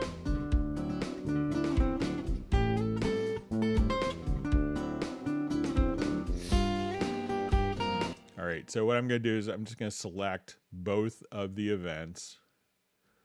And then all I had to do is I'm going to come over here. Uh, so we probably have, you know, so if we wanted to manually put it in, we can come here and we'll choose free warp. Now we see this, you know, the two arrows with the clock and we see this little white vertical line. So what I could do is I'm just going to put that white vertical line at kind of rhythmically significant points. I could say, okay, this was, um, so, you know, as we have both of these selected, I'm just going to drop in the warp markers. And now I could just say this note was a little early. You know, one thing to be aware of is as you work with this, you know, you may, you know, if I just put warp, you know, if I just say, oh, you know, this note here, I need to move uh, these particular notes, you know, I could kind of mess things up before or after. So, you know, you may want to put a warp marker before or a warp marker after. And now as you adjust here, we can see that I move over to where it turns white and then all three parts can be moved. So if you have multi-mic'd guitars, you could just kind of come right over here and be able to move them. Um, I'll just, this one is kind of a separate track. So I'll just take these two and now as we go to warp, I can just kind of come right here and just warp those two points. Now, if you wanted to get rid of all of the warp markers and have the hit points, you know, we could just come over here. Let's say if I go to my sample editor, um, and we go to our audio warp, we could just say reset um, but I could, you know, since Cubase will capture hit points when audio is being recorded, I can now just go to the real time processing and say create warp markers from hit points. And now when I switch to my warp tool, the hit points will automatically generate warp markers and I could just kind of move, you know, if someone was a little late or a little early, we could just move those events accordingly.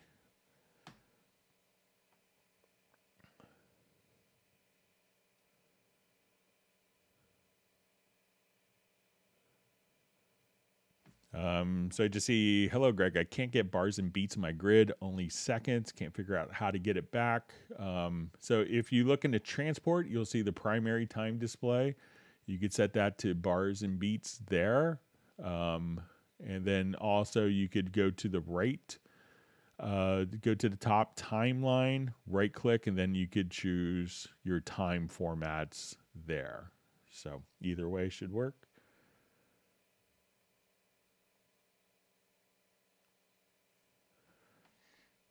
Uh, so you see, question was working on a project the other night and Cubase crashed upon launching SpectraLayer plugin. Is this a known issue? So I haven't really had any issues with it, but you know, with Cubase 12, you know, there is like a SpectraLayers update that is kind of the one that was designed to, you know, be optimized for some of the uh, extended ARA functionality. So make sure that you do have the latest versions of each.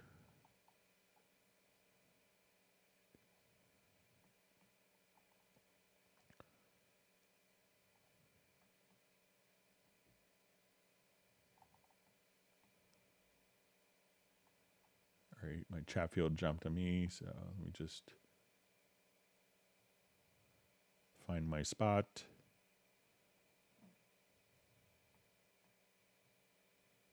Okay, I think I'm in.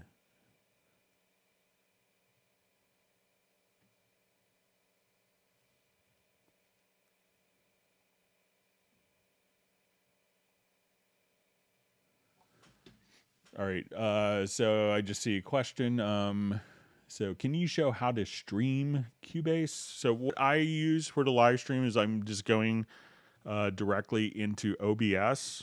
Um, so you know, this is a free software. Um, so I have it set to transmit my computer display. And for the audio, what I do, and there's other solutions, but what I found is worked the best is I have one audio interface uh, for Cubase. So, and when I go here, I go to my studio setups, I'm using a UR24C interface for Cubase, but, uh, and then I take the analog outputs of that and my microphone and I connect that into a Yamaha USB mixer. And for all of my streaming, what I do is I tell the streaming software, whether it's OBS, Zoom, Microsoft Teams, uh, whatever streaming software, to use the Yamaha driver. And that way I could change sample rates. I could mute myself in case I sneeze or cough. Um, and it's been, you know, it's worked great. And I don't really feel a need to change back. I could do loop backs and stuff like that, but I don't want to. I want to be able to quickly change projects and not always have to have you know a setting for uh, audio to work as well. That's how I do it.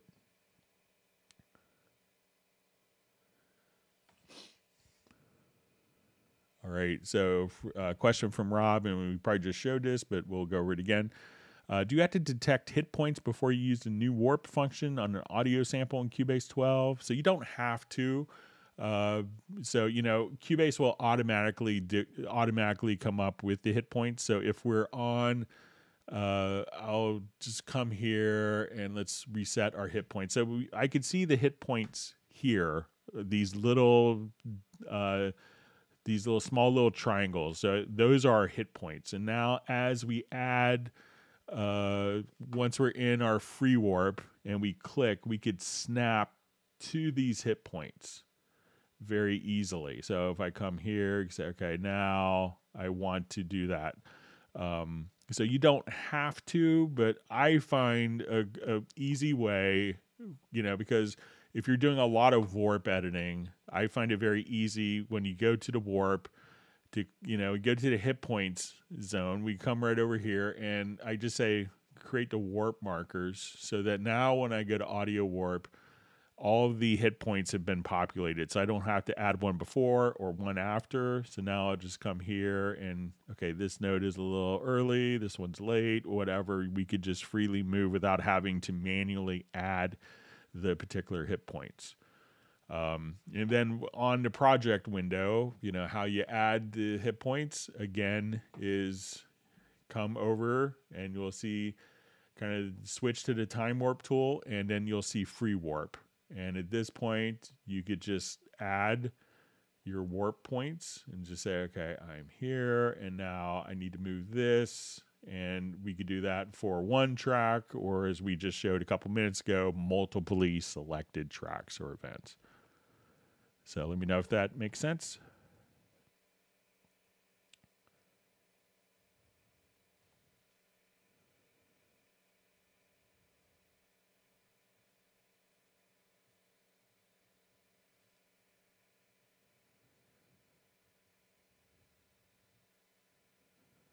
All right, so we see uh, question. Um, Hi, Greg. An external device, how can I create a panel to control every MIDI channels of my Integra 7 for every channel I would like to control volume, pan, cutoff, etc. Thank you very much. Okay, so let's take a look.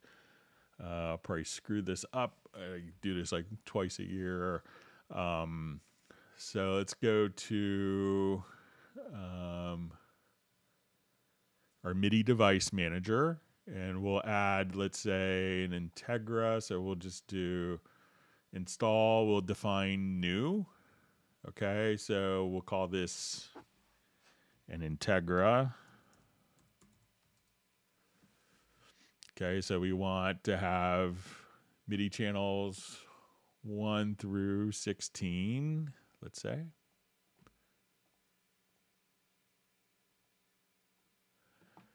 All right, so let's do volume, pan, modulation. All right. All right, so now we'll come over here. Uh, let's go ahead and open the device. And I think if we come, okay, so let's add a panel we could make it uh, general size or on the inspector, we'll just try general size. And what we want to do now is let's add faders. Okay, so say for channel one. And as we do this, we can say, okay, this fader, I want it to be for main volume. And let's create, hit OK. And then when I go to channel two, I could drag kind of the same fader out. So we'll make it main volume. All right. Let's make sure I have this. So let's say channel two, drag it out, create that. Um, so now we could come over here and if we wanted to, okay, I wanted to do panning. So we'll say, let's do uh, knobs. And I wanted this knob for channel one. And I wanted that to be panning, but let's set the uh, default panning to 63.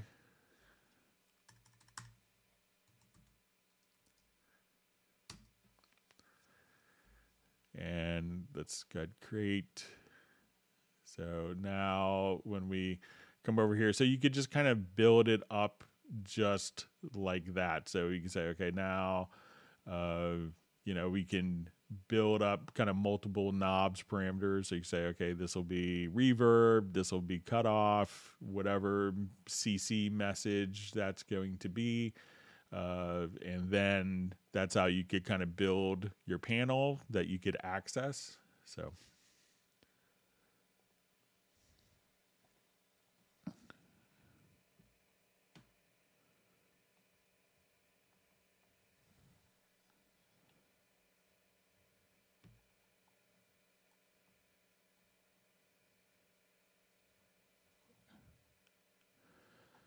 Right, so we see question is logical editor for MIDI functions only. So the logical editor is for MIDI functions, and then there's also a project logical editor.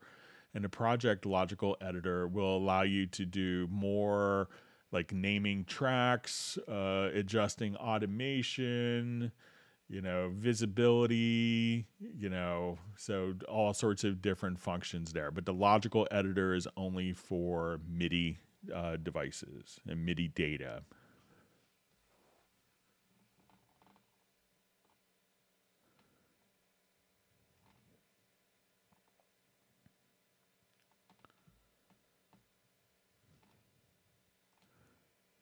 Okay, so we just see uh, says, uh, "Hi Greg, thanks for all the help. Every time I use the free warp tool, the meter, the ruler changes to seconds. Then I have to change manually to beat again. How to avoid it? Thank you." Um, okay, so let's say if we're in our free warp tool, uh, I'm just going to make sure. So let's see if I have that set to bars and beats. Um, and my master time is in seconds. So let's say my master time is in seconds, but I'm in bars and beats. Let's see if that changes it. So doing the free warping on the project window doesn't seem to adjust. It's not changing my uh, actual ruler at all. Um, but if you have like a quick video you want to like a screen capture video and you can do that in OBS for free. Uh, and if you're going to share a link with me, I'd be happy to kind of take a look at it. But mine, yeah, as I do free warping, doesn't change uh, bars and beats. Um, so, but let me know if I'm doing something differently than you are.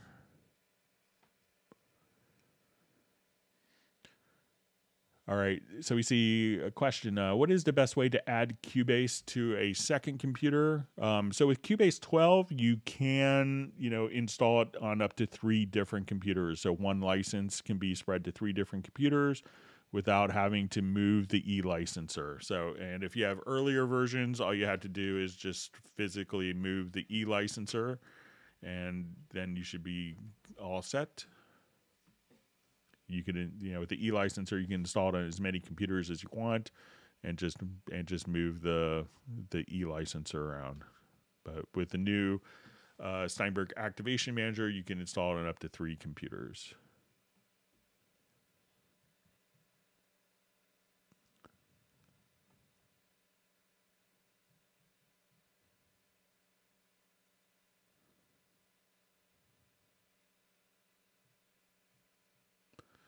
All right, so we have a question from Nick. Uh, what's the best way to record audio from Groove Agent patterns live in real time? Uh, so probably the easiest way is, let's say, if we jump over to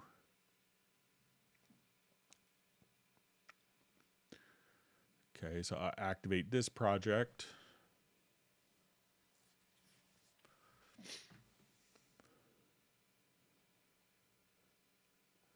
All right, so I'm going to take, uh, just revert.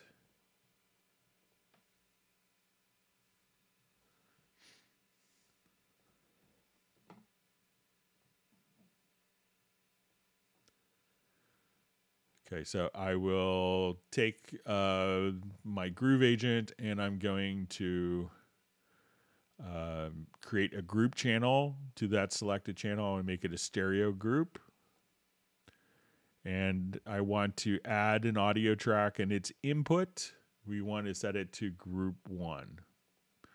So I'm going to record this channel. Let's open up Groove Agent. And I'll just go ahead and solo these different tracks. So as we play, I could just put it into record. And I'll start off with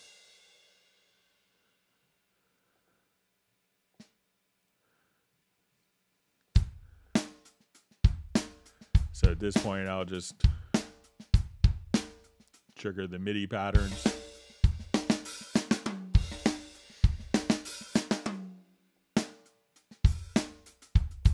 And let's say, so you can see that as we record and do our changes, this audio from the instrument is being sent to the group. The audio out of the group is being sent into this audio track, and it's just capturing it in real time.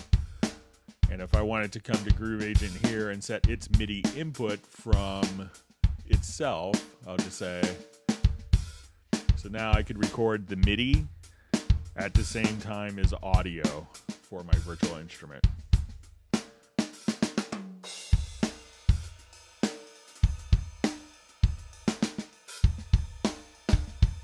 And that's really all you had to do. So route the outputs from the instruments into group into a group and the group set it as the input for another audio track.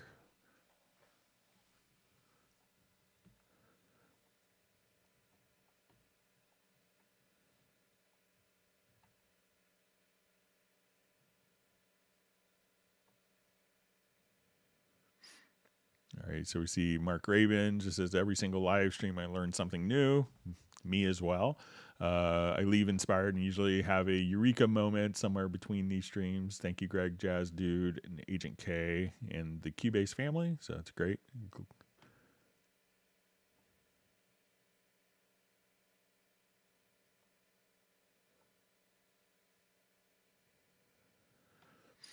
All right, so we see from uh, Daza Direct. Uh, can you question? Can you please show how to map notes C1 through C3 as buttons on a generic MIDI uh, generic MIDI controller? I've drawn and mapped uh, the rest, but haven't found the keynotes in Mapping Assistant function browser. Thanks. Okay. Um, all right, so if we wanted, I'll show this in both uh, the generic remote. So you mentioned the mapping assistant as well. Uh, but let's come to generic remote. So if we wanted to do particular functions, we'll go to our studio setup. And let's go to uh, generic remote. So we want to make sure that we have our MIDI ports set in. And the easiest way to kind of do this is just to say, uh, click on MIDI learn. So I'll come here and as I hit a MIDI note, like that'll be C1, I think, or C on my controller currently. I come here, that'll be D. I go to this object. Um, so as I do this, we can see that the field, the value here, uh, the address will be populated automatically. And now whatever function that I wanted to do, so I can say, okay, I want this to open up the VST mixer. And, you know, we could just say, okay, just opened up selected channel. So when I hit this button, um, it'll now, you know, we could just have that do uh, particular functions. So there's my my channel for that. So let's say if I come here to this, um, you know, we could just have it automatically create those particular events. Um, so let's say I wanted to do device and we'll just say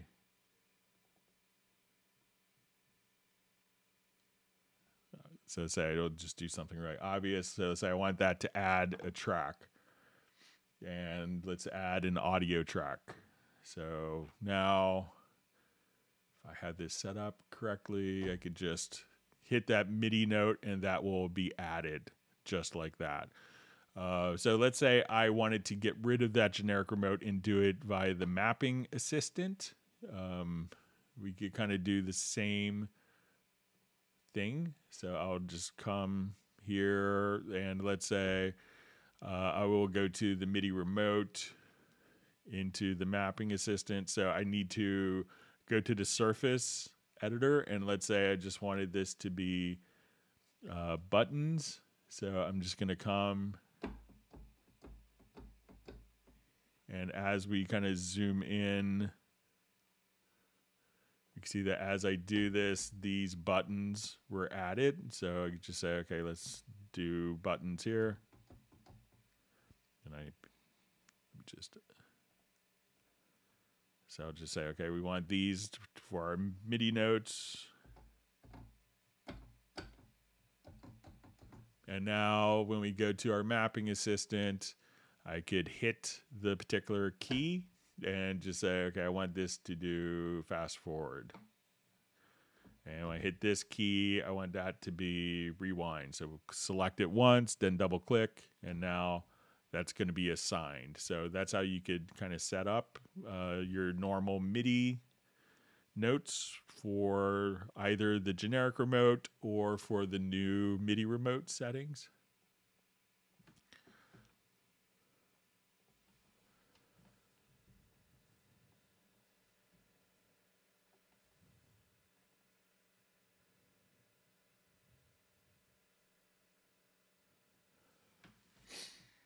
Uh, so we just see uh, what's the best way to get a chord track over to Dorico 4. Um, so I, I don't think that there's a direct, you know, import chord tracks.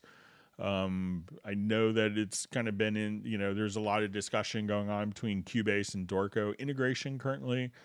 Um, so, but currently there there isn't a particular way you might be able to export it as a music XML file um, from the score editor and have that automatically carried over.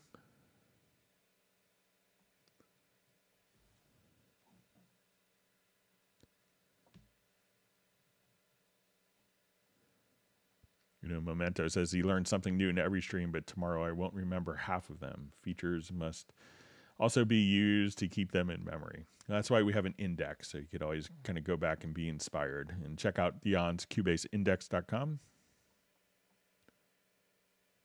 And yeah, as Jazz Dude mentioned, so yeah, if you see something cool, just do it like three times and try to get that muscle memory locked in as well.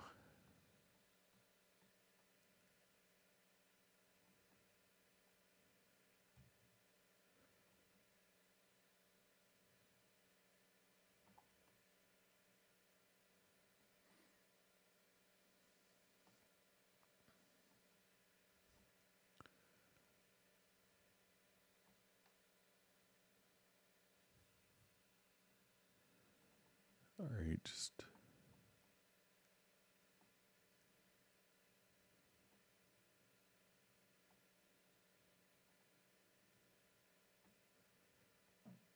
Okay, just reading through comments. Thanks for all the great questions.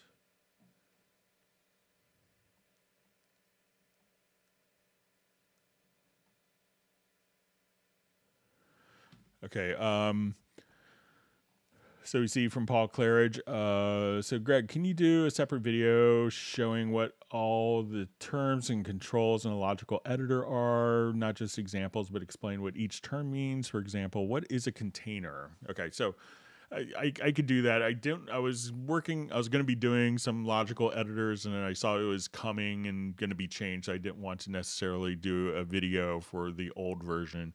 Uh, but when we do a project logical editor, and I've gotten this question from friends before, uh, sometimes you know it's there's a particular logic to it. And it's very if you're you know some like my friend Fred Corey, who's been on some of the Zoom meetups.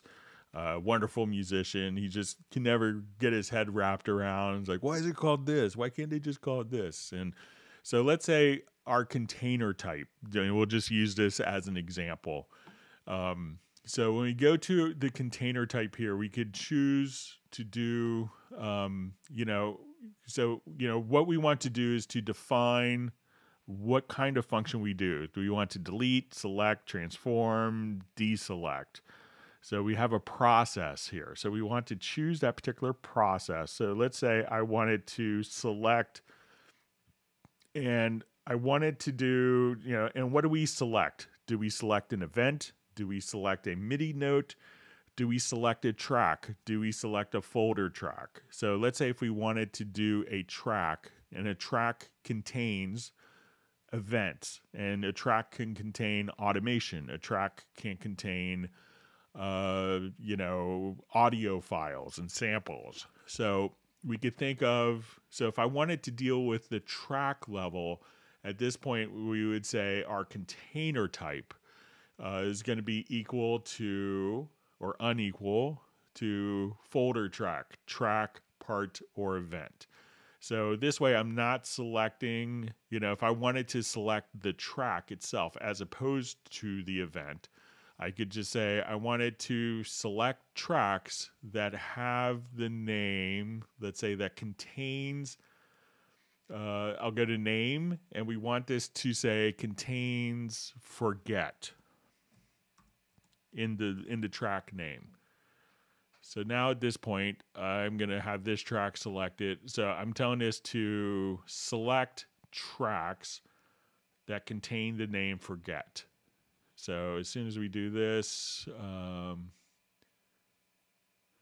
container type is equal to, oh, so I have this set to folder track. So I say we're to select tracks equal to to that had that contained the name event. So container type is we could think of that as kind of like the biggest macro level.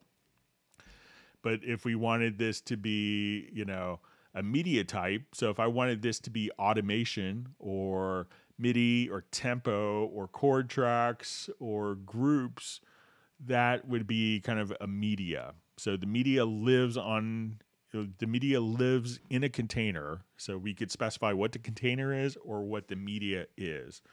So, but I'll try to come up with some uh, more videos on like Project Logical Editor now that it's been updated and released to the public.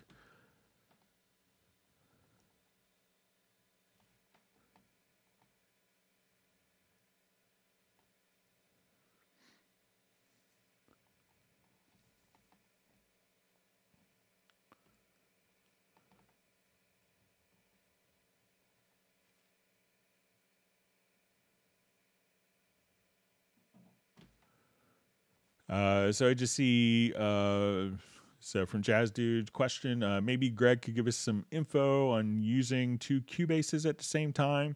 So I noticed that I was able to do it. It, was that you know different systems. Uh, I'm not sure if it's officially in the license, but I've had you know Cubase, my Cubase license on my Mac and my personal studio PC running at the same time.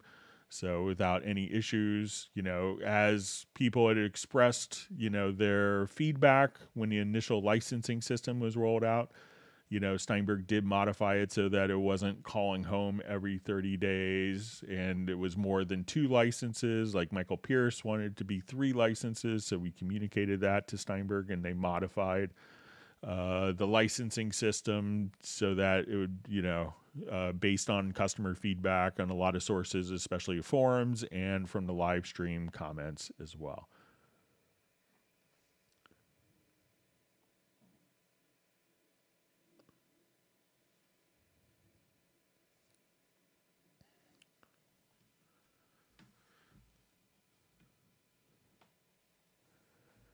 All right, so we see um, uh, so, question How do you render out separate tracks for each drum sound when using a HALion MIDI drum loop, similar to how you showed rendering for the Groove Agent MIDI loop? All right, so let's open this up. So, it's really, you know, think about it is it's not so much.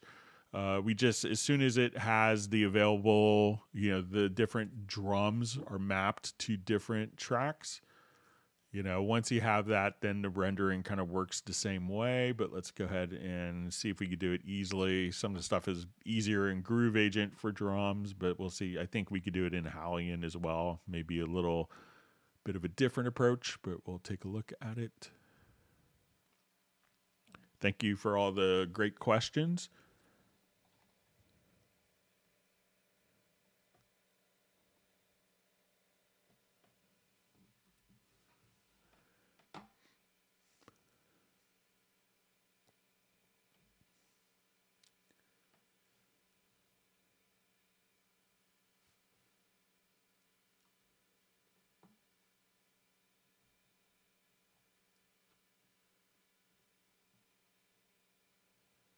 Okay, so let me just.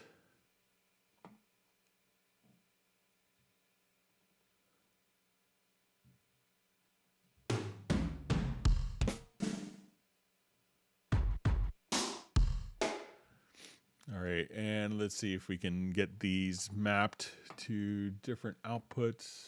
Um,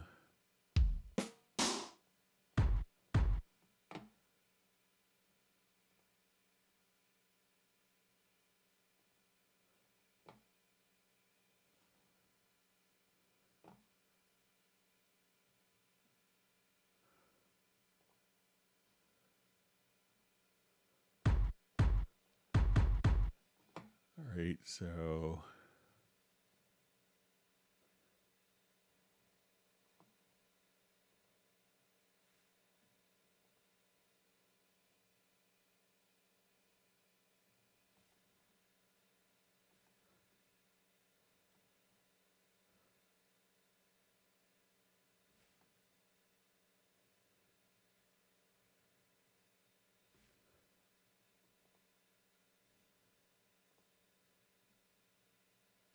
so I think it's going to be for MIDI stuff. Let me just.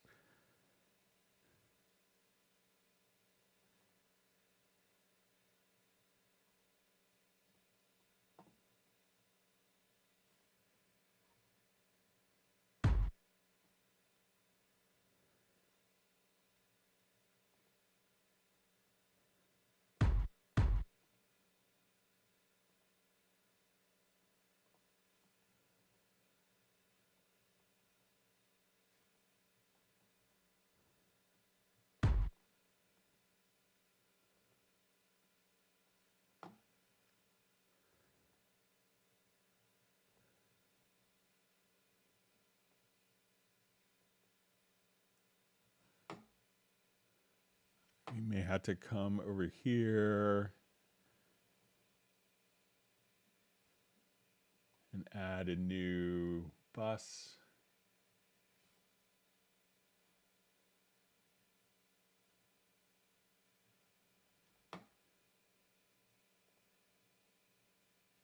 And let's see if I do a new bus here. If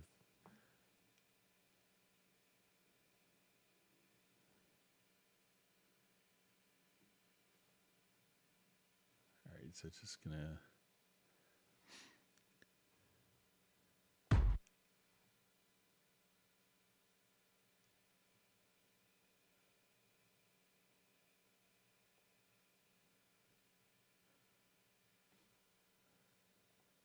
So, and it might be easier if we had kind of our own samples. They might be, this could be kind of collected as a kit.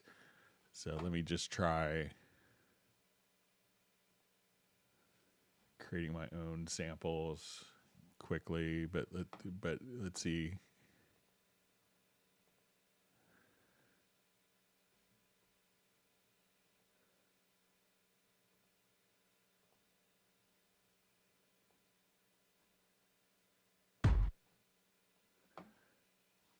I'll just try quickly, and I could maybe work on this over the weekend and show it on Tuesday.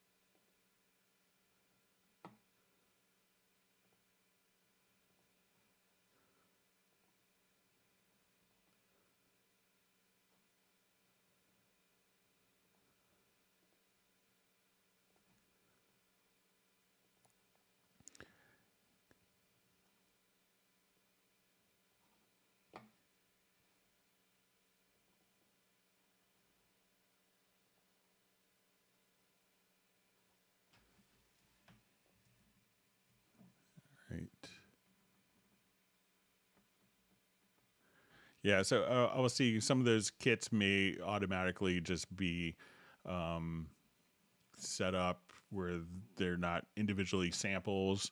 Um, but I think once you kind of break it apart to different samples, that you'll be kind of all set with that, and it'll be able to be rendered. But you know, when you see Groove Agent and um, like you know, uh, Groove Agent and some of the other instruments are, you know, probably better solutions for that. All right.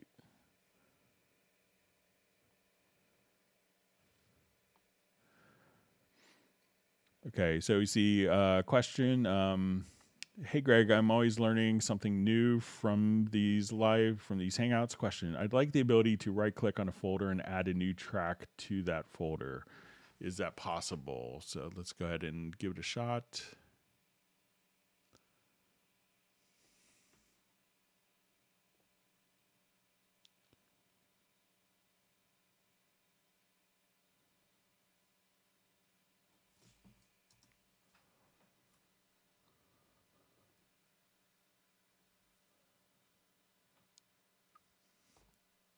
All right, so I think that this may go out of the folder, but let's see if we select within a track, within the folder track, it automatically gets added.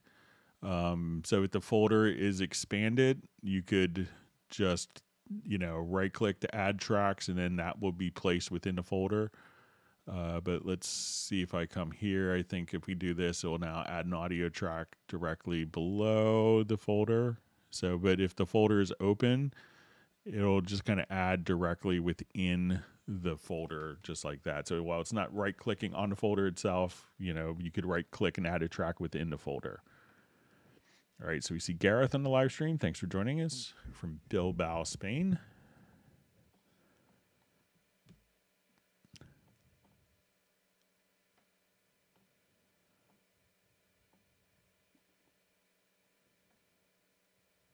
See that Pablo is out working again. All right.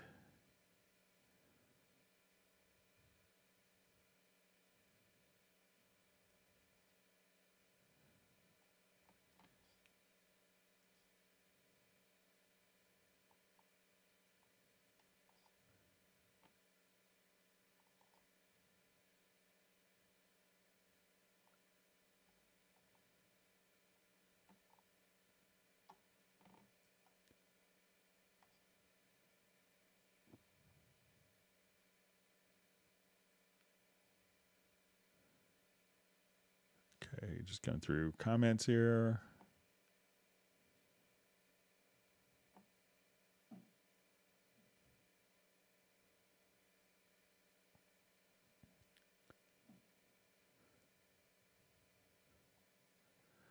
Um, so we just see, is it dangerous question? Is it dangerous to rescan my Cubase plugins? So no, you know, generally uh, you know your computer is not going to blow up there's no it may sometimes it, when you start you know cubase it does like a little quality assurance test on each of the plugins and measures the latency of it.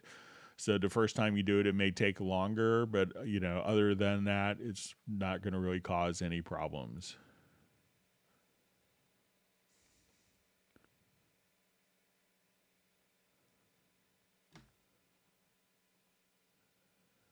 Okay, so you see uh, just a question. Um, hey, what are the four, the new four dots between the track list and the event display for? Um, so this, I think it's.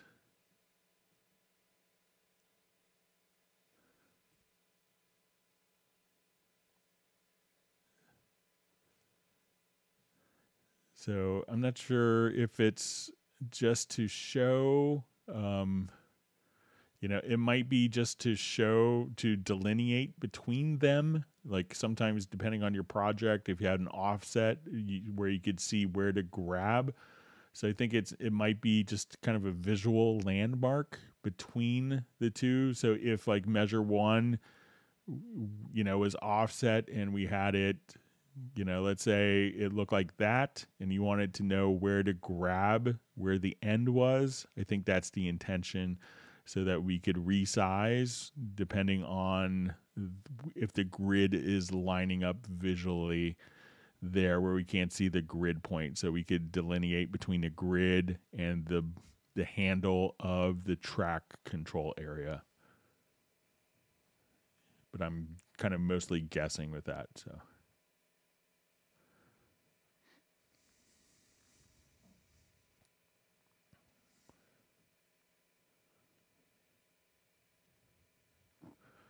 All right, so Nick is saying 108 watching and only 84 likes. Smash the like, smash the like. So.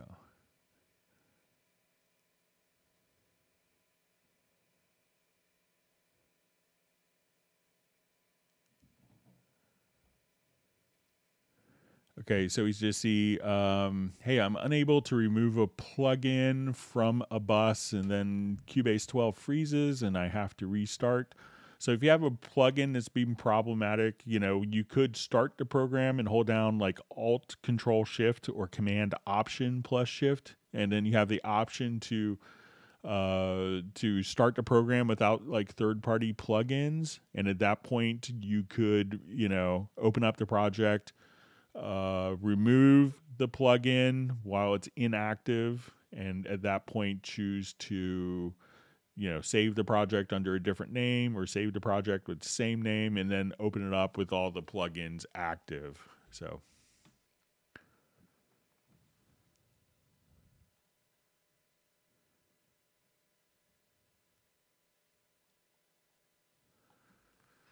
Uh, so you see, does Cubase have anything like the clip gain in Pro Tools that could be automated? Reducing plosives and S sounds has been a problem for me in Cubase. So really, all you have to do is, you know, anytime that you want it to do clip gain. I mean, we actually kind of invented that whole concept.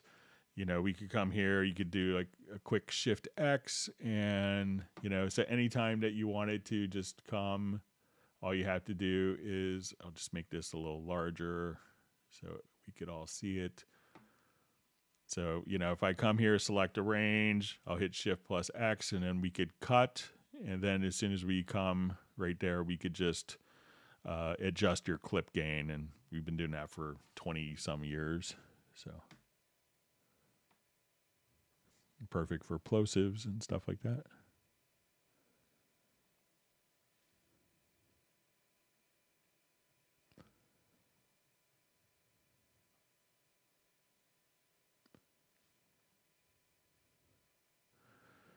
Um, okay, so we see a question from Jeff Zabelski. Uh, what would cause a gray out of insert plugins in the master bus in a very large project? I was using the inserts on the master bus only for a quick reference, then they grayed out. So it could be that you have the check to make sure if you go to the constrained delay compensation in the lower left hand corner, that you could turn on to constrain delay compensation and see it could be just that the those plugins on your master bus have enough latency where they could be bypassed. Um, so if we come here and I go to my master bus, we could see that now with constrained delay compensation enabled, I load up a large latent plugin like a multi-band compressor that um, as soon as we come here and turn that off. It's usually kind of now bypassed. Um, so make sure that you uh, don't have the constrained delay compensation on. So give that a shot. So let's take a look. So usually that will bypass. Let me just add it. Try one more time.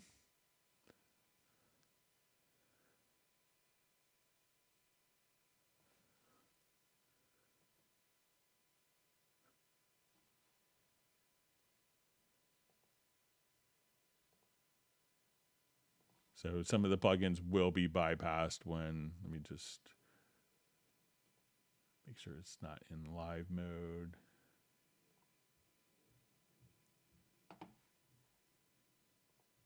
So if it has a lot of latency in the plugin, so check that, Jeff, and let me know.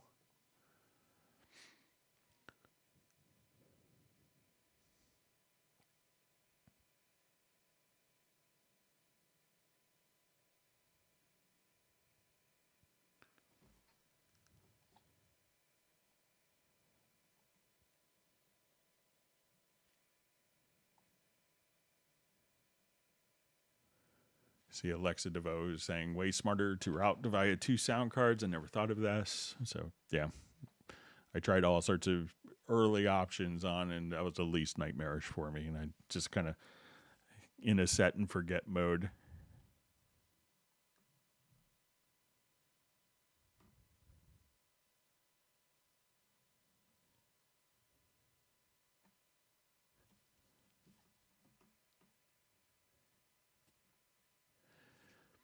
All right, so we see. Uh, can you talk a bit about printing reverbs and delays? Um, so there's a number of ways of doing it. So let's say if we have, I'll just uh, revert this project and let's say I'll add reverbs on. So let's say we're here and I want to put just a reverb on my bus. So I will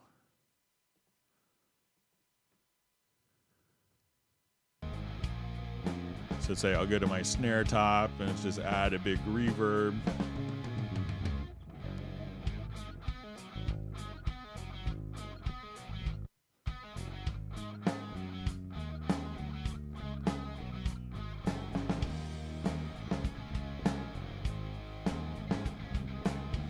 All right, so now when you come over here to the snare,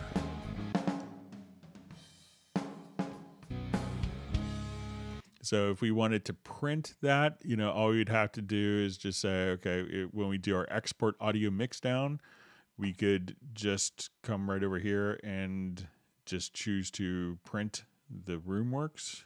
So at this point, we could just say, okay, I want to take just a small section. Uh, let's create a new audio track with that. So we'll export audio.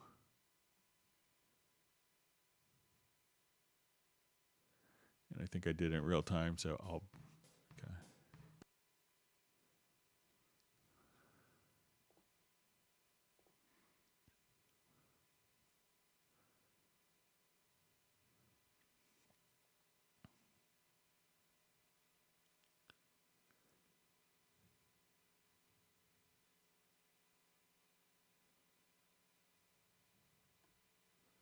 All right, so now we'll come here and listen to So that's just our reverb that's printed. So we could print all of our effects channels independently if you wanted to.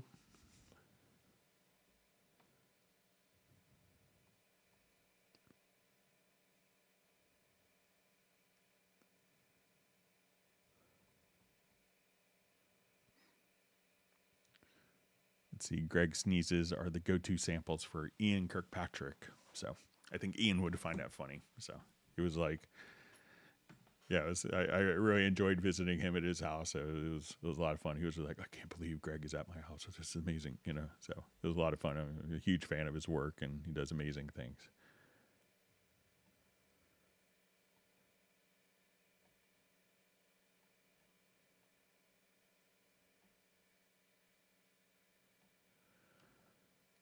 All right. Uh, so we have a question. Uh, can you please explain how to add universal me? I, get, I assume MIDI controller. I have Mini Lab from Arturia. I added it. I added it and it recognized it the buttons knobs, but when I open VST, the knobs don't move from zero. So you know, as you have controllers, you know, one thing to check because um, you could define the focus for controllers. So let's say if I'm here.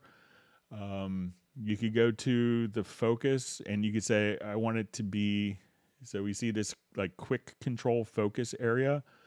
Uh, so you want to make sure that you know it's not set to track focus only or plug-in windows. So you know when it's set to track and plug-in windows, if I have a track selected, you know it will do the quick controls for the particular track. So if I come here, we can see like volume pan. And then when I make a plugin window active or a synthesizer window active, at that point it will do the quick controls assigned to this. So you may open up something, but maybe you have to click on the window depending on your focus settings here to determine what the quick controls are actually controlling. So let me know if that helps.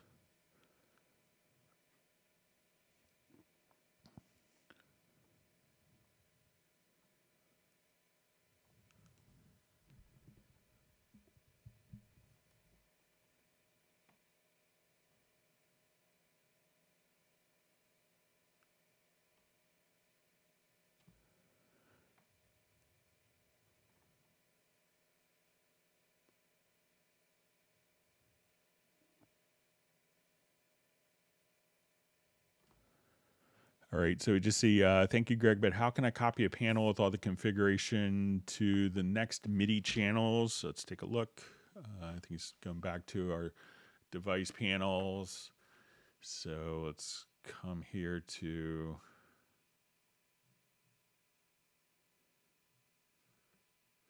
MIDI device manager. Let's see if our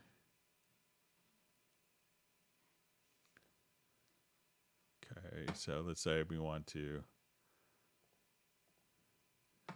do our device panels.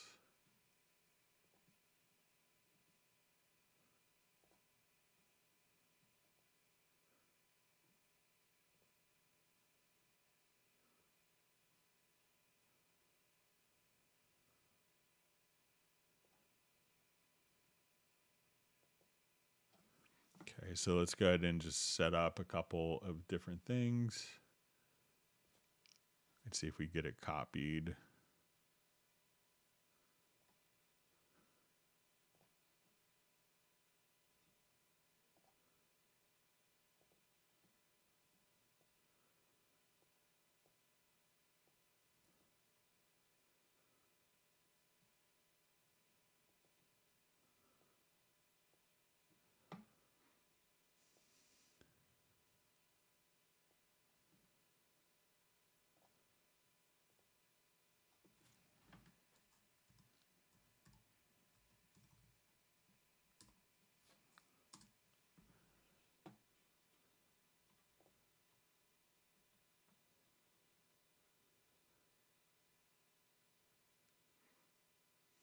All right, so just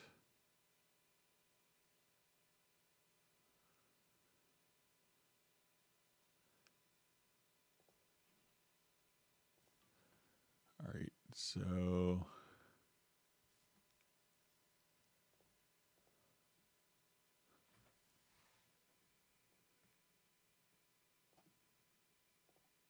see if we could copy these over.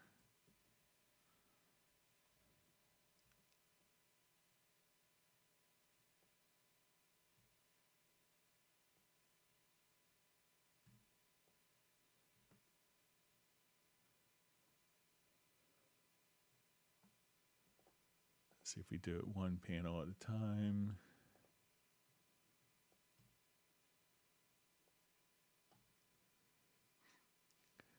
So there may be a way of doing it, um, but you know, if we come here, let's just say, okay, I want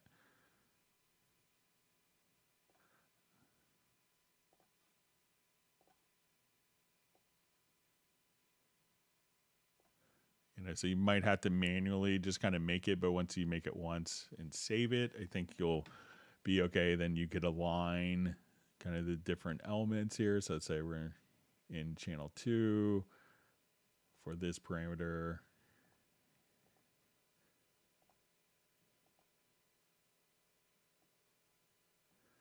So you can make kind of all 16 just kind of like that. But I think once you do it once that, you know, um, I'm not sure if there's a way to copy those or you have to make it all kind of at once.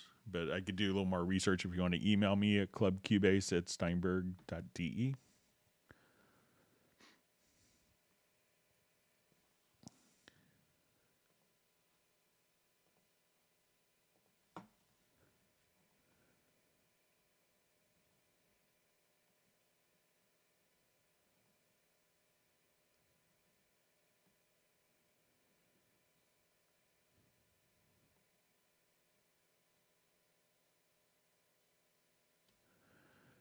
so just seeing, uh, just a question. I think this might have been directed to Michael Pierce. Uh, says, uh, I wanted something like an automation line that only affects the particular event before it hits the inserts. Um, so you know, we showed kind of like the clip gain where we could you know take uh, you know particular areas here and do that. But another method that you could use uh, and I'll just make this a little larger here, is if you just grab the pencil and if you want this to be before the actual event here, you could just say, okay, I have my volume and I just wanted the volume to be lower for there. You could just select your pencil tool and just be able to kind of adjust volume here and that will be before the channel hits the fader. So you could do kind of and this is kind of like older, what they used to call dynamic events from earlier versions of Cubase. So let me know if that helps.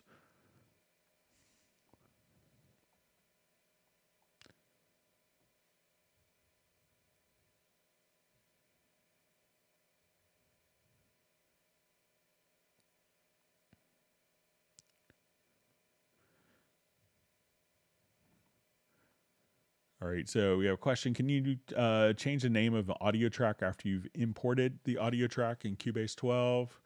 Um, so all you have to do, let's say we import an audio file.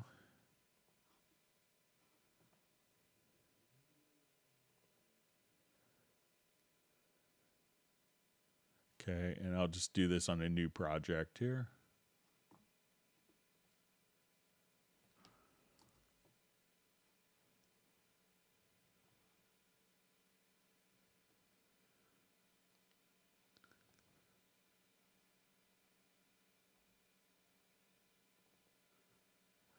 Okay, so this is called base GO underscore one. So if you want to change the name of the track, you could just double click and change the track. Uh, if you want to change the event name to the track, hold down control and before you hit enter and then you could rename and you could also rename the file here or the description directly there from the info line. So if you wanted to rename the file, you could do that very easily there.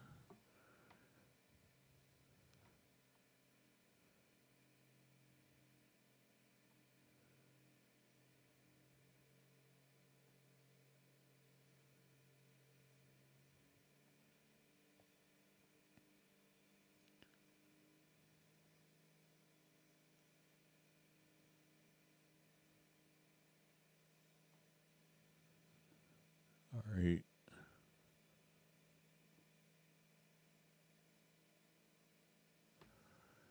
Um, so we see uh, just a question from Jeff Sabelsky. Greg, you opened so many different projects for us for demonstrations. Do you go through routine to close them all without saving when our session is over? So generally, I'm like the one person, like in my demo computer, I'd never want autosave on because I always want it to start from a known point.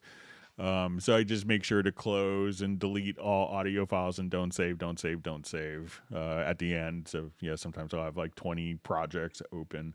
So, but that way I could always kind of start from a, a known point for demonstration purposes. On my personal computer, I have autosave on for every 10 minutes or so, but my demo computer is never. So.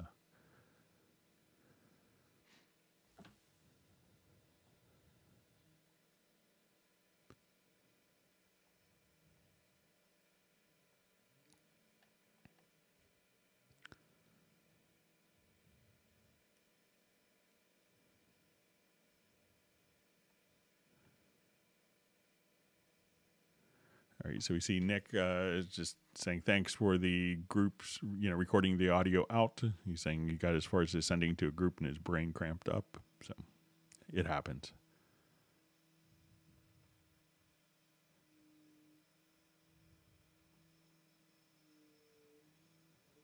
We see Michael Pierce is out going to do some tutoring.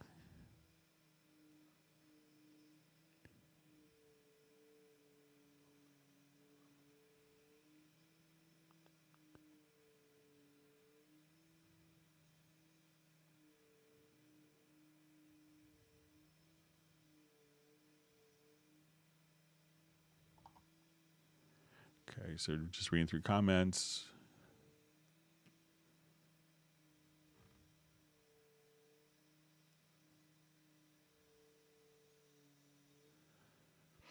All right, so we see. Uh, I saw so many videos about bass drum, especially the EQing. They're always different. What's the right way to tune? Is there a trick? You know, so one thing is, you know, um, every every song is going to be different. So a lot of times, you know, so many people look for like always EQ this frequency on this instrument. Always do it, and then you know, and you know, I, I when you know pre-COVID, I would do a lot of traveling, and then I would just ask people, I'm like, well, what if the song is in a different key, and or what if the the kick drum is tuned differently, or you have to tune the kick drum because differently because of what's going on in the piano or the bass um, so every song is going to present different things. So there's a lot of people that kind of use a cookie cutter approach and they just EQ stuff because they saw it on a YouTube video. And, you know, I always try to think of it as, you know, if you need to EQ, that's great, you know, but, mm, you know, don't just put on plugins just because for the sake of doing it. So, um, you know, so there really isn't a trick. You just listen um, and you know, some people like EQing on you know a console because they're not seeing the waveform. They're not seeing you know the effect of the EQ, and they EQ differently when they do it just by ear as opposed to you know, worrying about particular frequencies. They just kind of dial it in until it, it sounds good to them. So, no real tricks.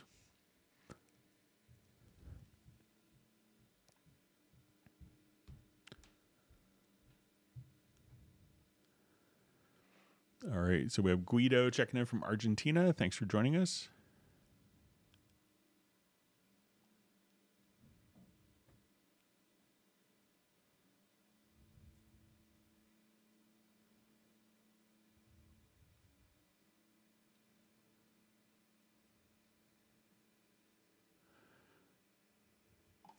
Okay, so we have a question from Pascal. It says I'm using Cubase Pro 11, uh, and I have a question for e-license. Soft e-license gives me an error, and I can't redeem if I'm using Windows 10 Pro. What do you recommend to do? So Cubase 11 Pro, uh, that level is going to require a USB e licenser. It's not soft e license, so you'll have to get a USB e licenser to run that version. Um, so you know, so you can get this Steinberg USB e licenser uh, for, and that's required for artist and pro versions. You know, now with Cubase 12, we don't require the USB e licenser. It's moved on to a new system, but with Cubase Pro 11, it will require the the actual USB E licenser as opposed to a uh, soft e license that's stored on a hard drive of the computer.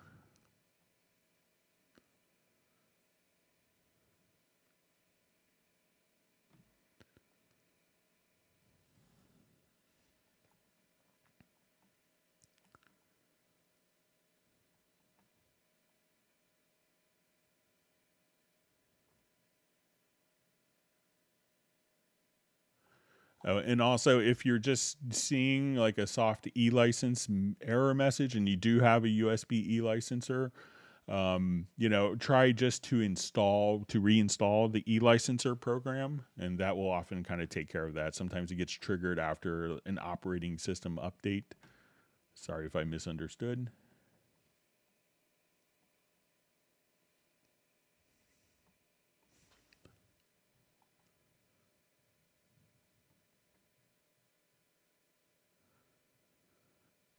And I'm just also saying, kind of further follow up. Uh, the question is, but my redeem code is not working also. So once you have the, you know, check your e-licenser program, and you should see the, uh, you know, once the license is on the USB key, at that point you don't have to re-enter it again. You just reinstall the program. All the licensing is completed because the license is stored on the USB e-licenser. my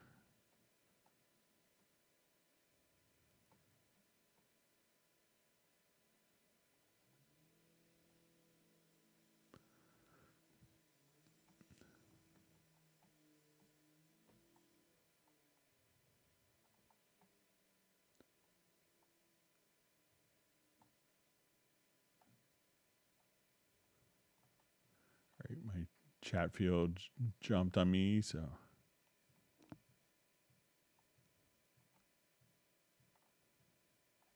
Let me just find my place. Okay, uh, so we have a question. Hi, is there a way to turn audio drums to MIDI? So we'll jump back to this project here.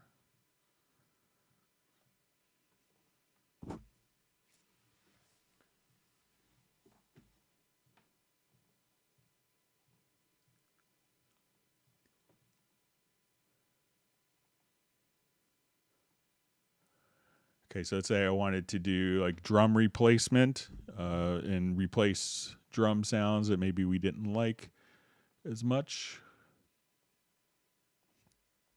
So I will come here.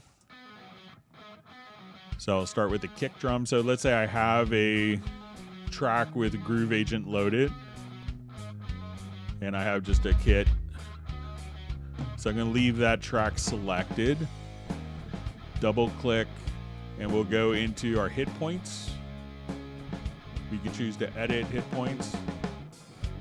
And then we'll see this little create tab uh, in 12, but you'll just see, and then at this point, we'll choose to uh, create MIDI notes. I want to retain the dynamic velocity, and let's put it at C1 and hit OK. And now all of our kicks are being triggered by Groove Agent here. And if I wanted to make that louder, tune it.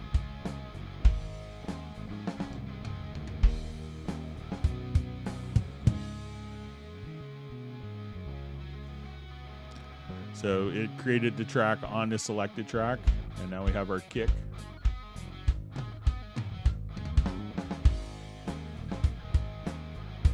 So that's all you have to do. And you can do that for the snare. We've even done hi hats on other live streams, and it worked way better than it should have. So.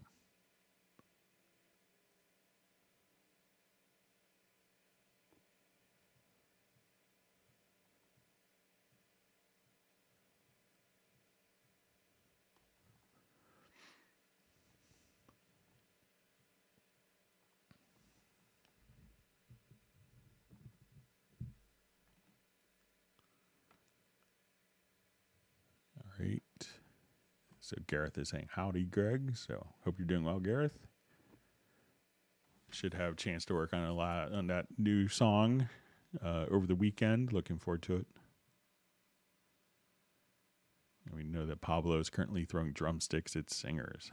I never irritated a drummer for that reason. Learned that early on. All right, so we see Avery Music saying Greg Cubase 12 is on fire, so that's good.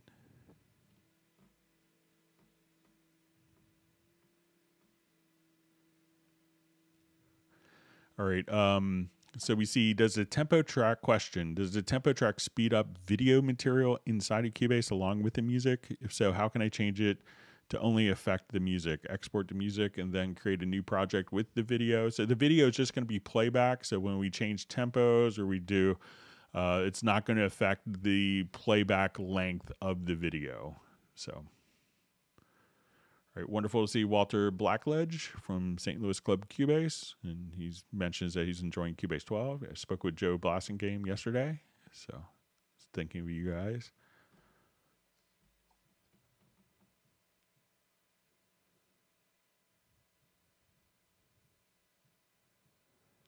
Jazz Dude just saying if you like this informative hangout, subscribe and don't forget to hit the like button.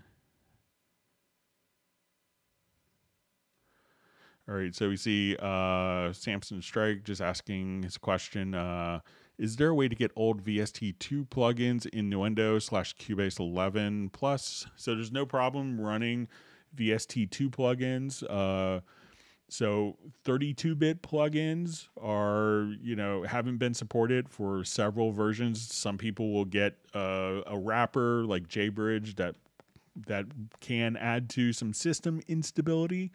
So just be aware of that. But you know, some confusion has been out with uh, Cubase 12 uh, because on Mac OS, if you have an M1 processor, that won't run VST2 plugins natively. You'd have to run it in Rosetta mode. Uh, but that's just only on Mac with M1 processors. So that's why you see a lot of companies now migrating to uh, VST3 plugins. But you know, so old old VST2 plugins if they're 64-bit um, will still work without any problems on Windows and Intel-based Macs.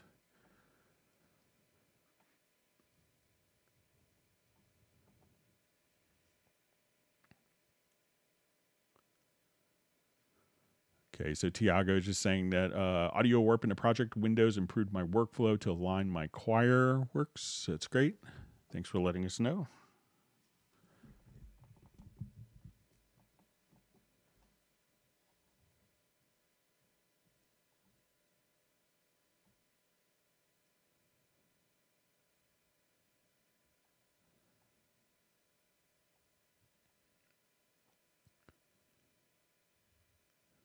See Samson Strike just saying uh, yes to 32-bit plugin. So you know, check um, if you really have to do it, and it's not recommended because it will add to a lot of system problems. You know, you could do JBridge, but a lot of those, you know, try to find more contemporary, you know, versions if you can. So.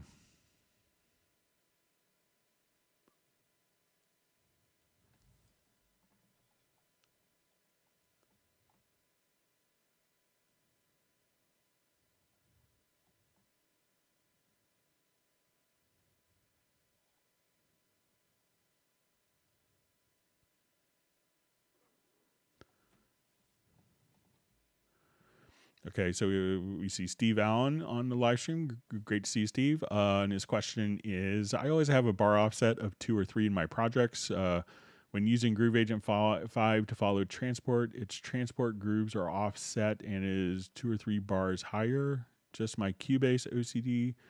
Um, so I think.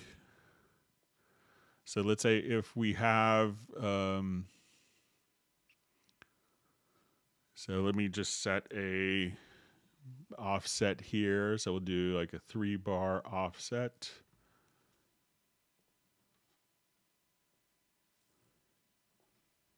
And I'll add in a kit into Groove Agent.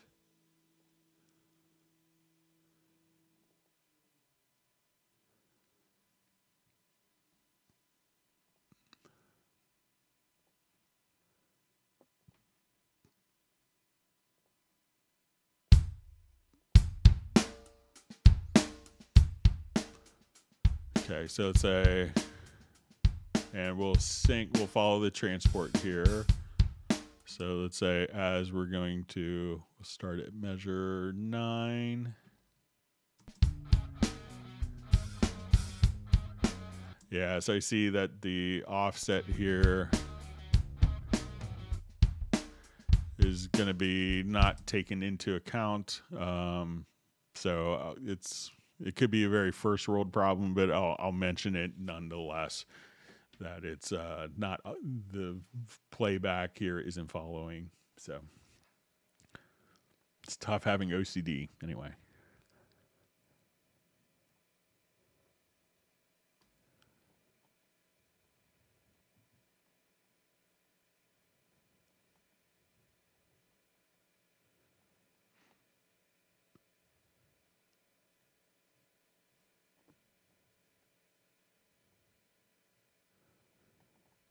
See John Costigan's having fun with his SSD drives not being recognized by motherboards.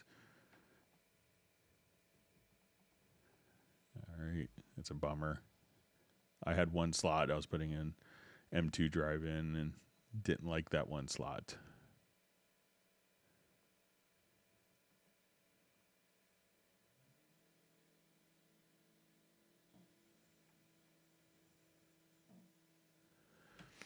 Um, my dog bit the dongle, but it works. Uh, if he bites it yet, I'm going to uh, scold him. What happens if my dog bites the dongle so much that it no longer works? Will I shoot him or will I buy a new dongle? Um, depending on how much your dog did with the dongle, you know, you may want to transfer the licenses to something fresh that maybe didn't have dog saliva on it. So but they're pretty resilient. Uh, you know, I've used the same USB e licenser for about uh, 17 years. Um, so it's been around the world, probably 2 million miles flown with it.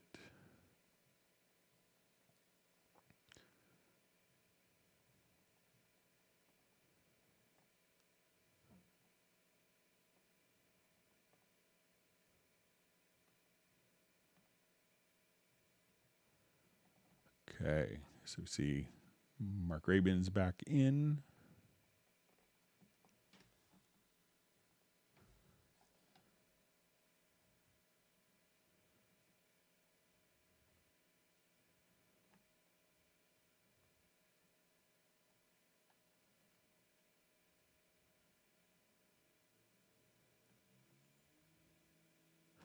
Okay, just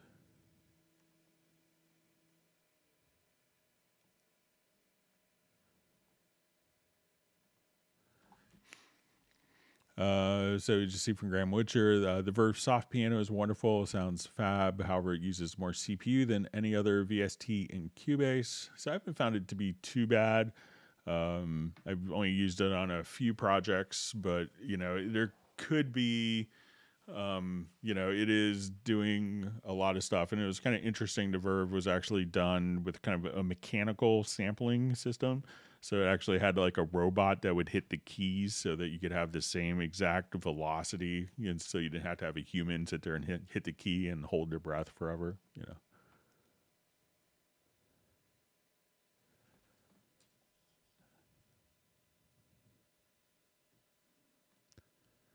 All right, so Volker is just saying he started with an Atari program 24. Don't ask me about gigabytes. So.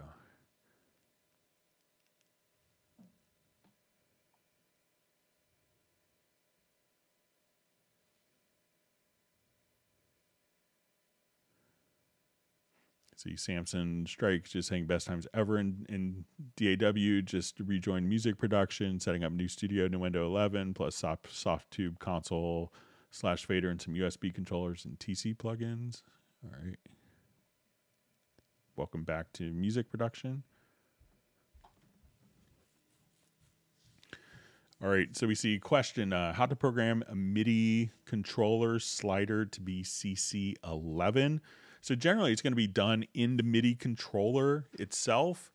Um, if you have a, let's say, if we have a, a, you know a fader that you notice, you know that you want that is transmitting something or it's fixed to something else, we could use like the input transformer. So let's say if I have a particular fader here, I'm going to figure out what MIDI message it's sending out by going to the MIDI monitor.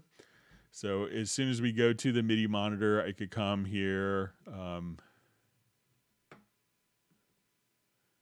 and you could just say, you know, as we come here, let's see if I have this set up.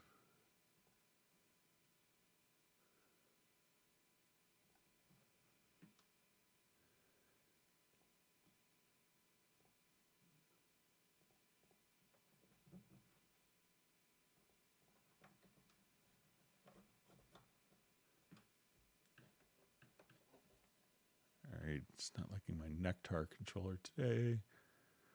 But, you know, so it's really kind of whatever is being transmitted out. But let's say if you, you know, you move the face, the slider on your controller, um, and then it's only like, let's say it's controller one, and you want to turn controller one into controller 11. So as soon as you would go to a MIDI track, you could go to like the input transformer on version 12 it's here uh, in other versions it's going to be right here this little squiggly line. And what this would enable you to do is to take any incoming midi message. So we could say i wanted to turn um, we wanted to transform. Type is equal to midi controller and what we wanted to do let's say we had midi controller 1 being transmitted and we wanted to at that point turn that into midi controller 11 at this point we would just say how we're going to transform that is we're going to take value 2 and then we'll say add 10 so this way it'll turn MIDI controller one, add 10 values to the MIDI controller, or we'll say value one rather. Um, and we'll choose add 10. So this way, whatever is spitting out MIDI controller one will now spit out MIDI controller 11. So you could just set up a preset, and there's probably uh, factory presets for this, like. Um, change pitch bend to CC1, change, uh, you know, so, uh, so you, you could do stuff like that as well. So, um, but really it's, you know, you can transform the incoming MIDI message, but it's really up to the controller of what MIDI message is actually being sent out.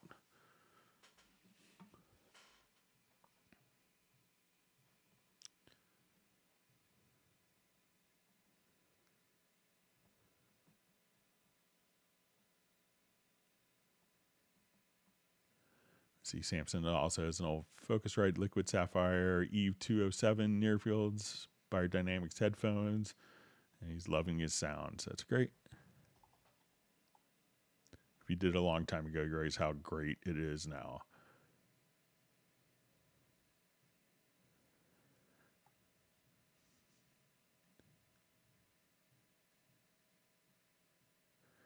Okay, so I just see uh, your noise floor is so low I can hear traffic outside. Nice stream quality. So yeah, I, our neighbors are getting some work done. I think they're they had a little bit of grass left, so they're going to turn it into a driveway. So they don't seem to like grass.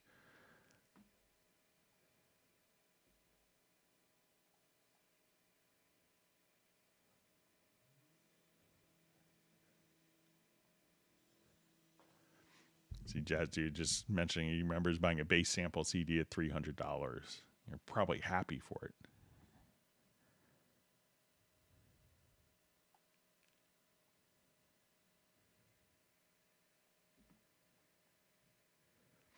All right, so we have Chris Hallam checking in from Columbia, South Carolina.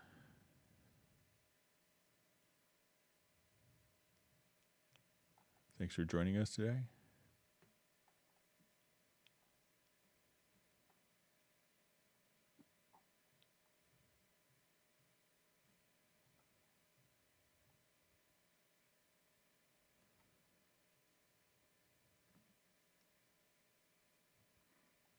Just reading through some comments here. Thanks for all the great questions.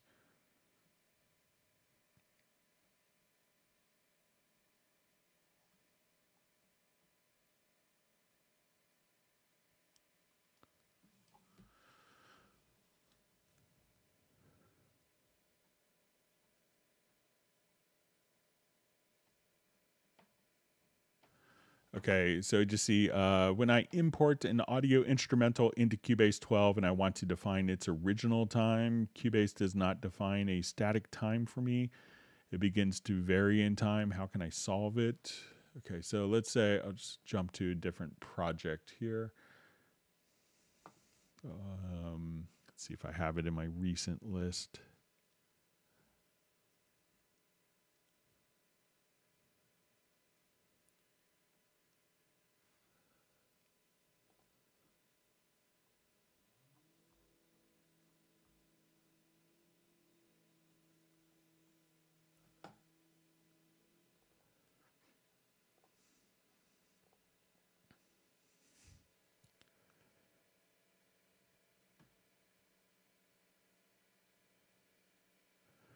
Okay, so you see uh, when I import an audio instrumental into Cubase 12, I want to define its original time. Cubase does not define a static time for me.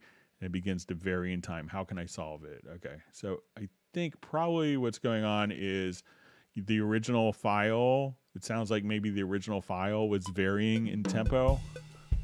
So let's say if I have this example here and I want it to be static time, so what I'm going to do is go to my project and we'll just say, let's go to our tempo detection. Analyze it.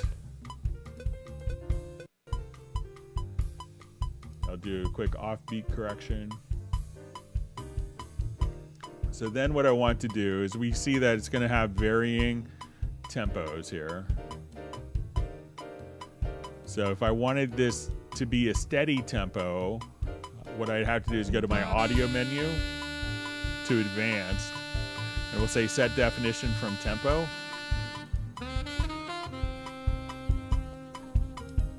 And once that's done, now you could just set a steady tempo.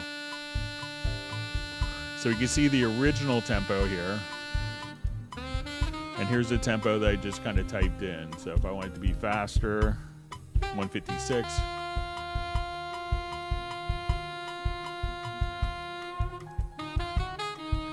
So if the original file has varying tempo and you drop it in, you know, the original file will kind of get out of time. So if it's changing, you need to do a tempo detection and then at that point go to audio to advanced uh, and we'll see set definition from tempo and at that point it will just be able to uh, play back at a, at a perfect steady tempo.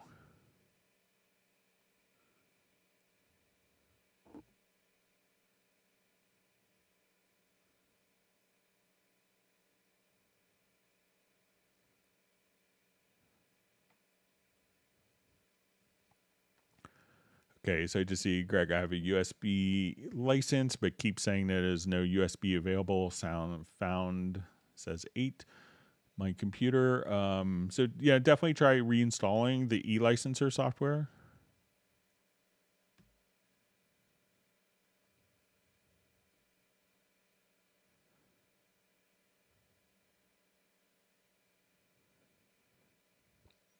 So we see Petty just says, unfortunately, he needs to pick up his daughter. Thanks for the great explanations. Cubase 12 is awesome. So, yeah, my son's getting off from his bus stop right in about 10 minutes or so. My wife, my wife will get him this afternoon.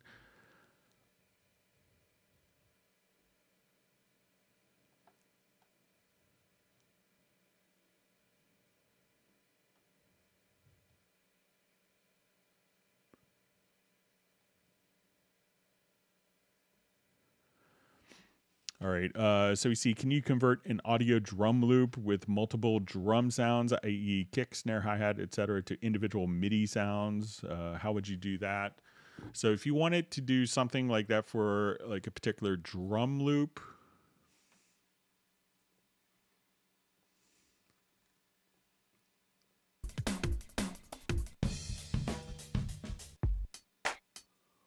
Okay, so let's say I have this loop here.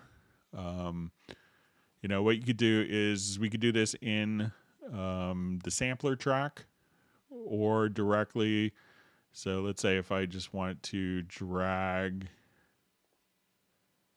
I go to my sampler control and I'll just drag this in. And then we'll go to slice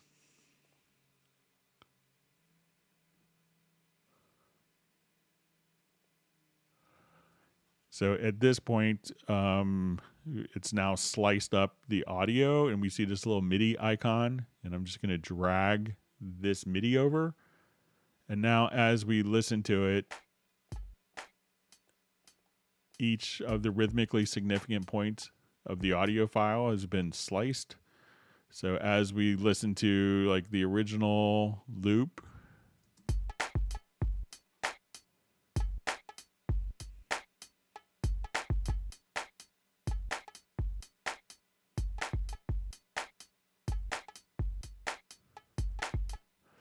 So, but at this point, if we wanted to, you know, be creative and kind of flip the loops around,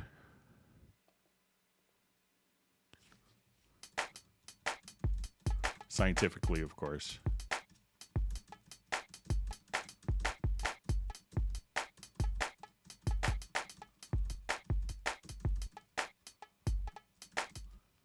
So now we can see what this sounds like.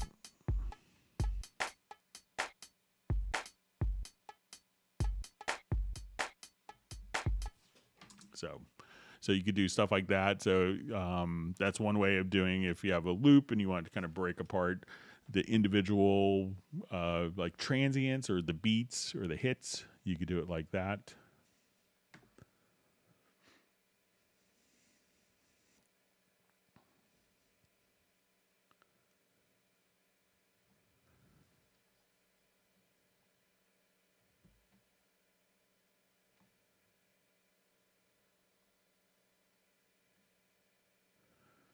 Right. So we see from uh, Matt Elliston just uh, mentioning, just wanted to thank Steinberg slash Yamaha, Yamaha after hearing about the licensing discussions. We're not going down the subscription route. This and the option of upgrading is much better and is excellent value. So yeah, you know, Yamaha is smart and lets Steinberg kind of you know make those decisions. Uh, so you know, but Steinberg, you know, does listen, and that's why we do these types of live streams to you know make sure that we're getting customer feedback and stuff like that.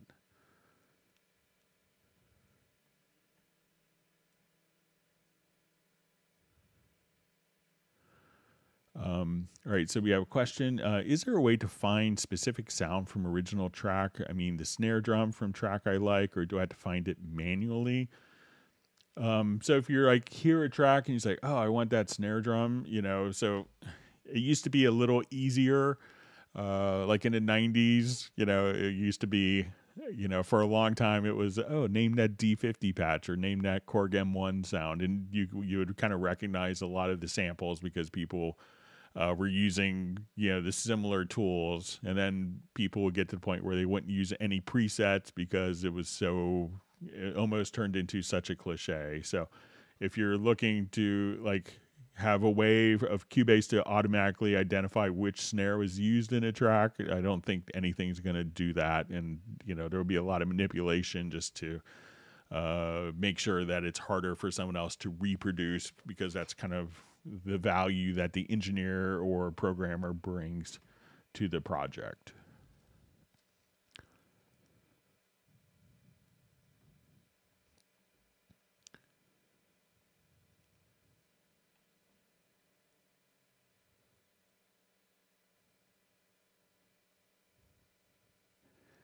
See Samson Strike just saying he started in 1989 with Cubase and a 1040 ST with the D50, but there's a highlight I now missed the interactive phrase synthesizer. Please help. So there isn't an equivalent, but uh, the developer who did that, Werner Kracht, he's still with the company. You know, his name was on the very first Cubase. Uh, he's still with the company, so maybe it'll be his baby to do. You know, he's he's older now, but uh, still, you know, the guy is amazing so always love getting a chance to hang out with him, but haven't seen him since I've been in Germany since COVID started.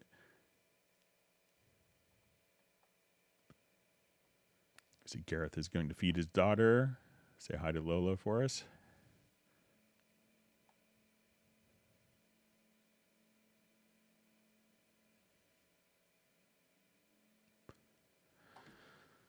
All right, so we see question: uh, May I import? May I import my old templates into the new MIDI remote configuration? So you know, templates, you know, uh, by definition, are kind of when we go to uh, like new projects here, and you know, we could open up templates.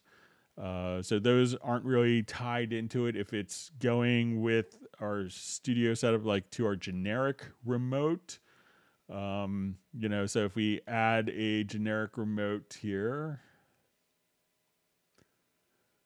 um, doo -doo -doo. all right, so if we add a generic remote, so all these XML files, they don't immediate they don't translate over to the new uh, MIDI remote system and the intention of the new MIDI remote system is that it would uh, kind of replace all that and you know and I realize that if you spent a lot of time working on creating generic remotes, this isn't a pleasant process, but the process of defining uh, functions in the new MIDI remote is so much better. Uh, so you could do it in literally just a fraction of the time. So, um, you know, it's like I want to hit this button. I, I, I open up the mapping assignment. I want to hit this button. I want to assign that button to a function. Like let's say, okay, I want it to come over here and I wanted this to be uh, for record enable. So now I could just record enable on that particular channel. I could just right click and apply that mapping. And that's all you have to do for assigning. Or you could actually search for functions and see all your key commands. So it's not going to automatically translate the generic remote. I think we'll see the new MIDI remote system kind of replacing that, but we didn't want to turn it all off and, you know, kill like people's entire setups that they've, you know, spent days configuring.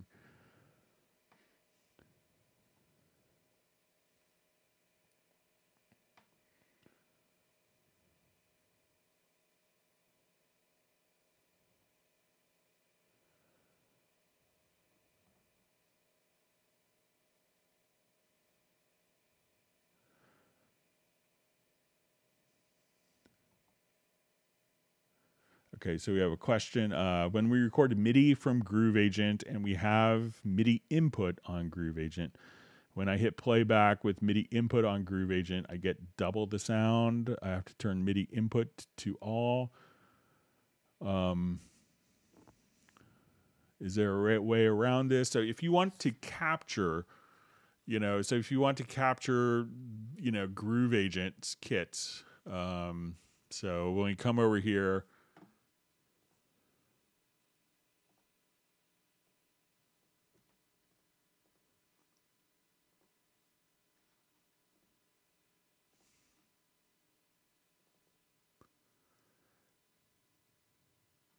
You know, so a lot of times people may have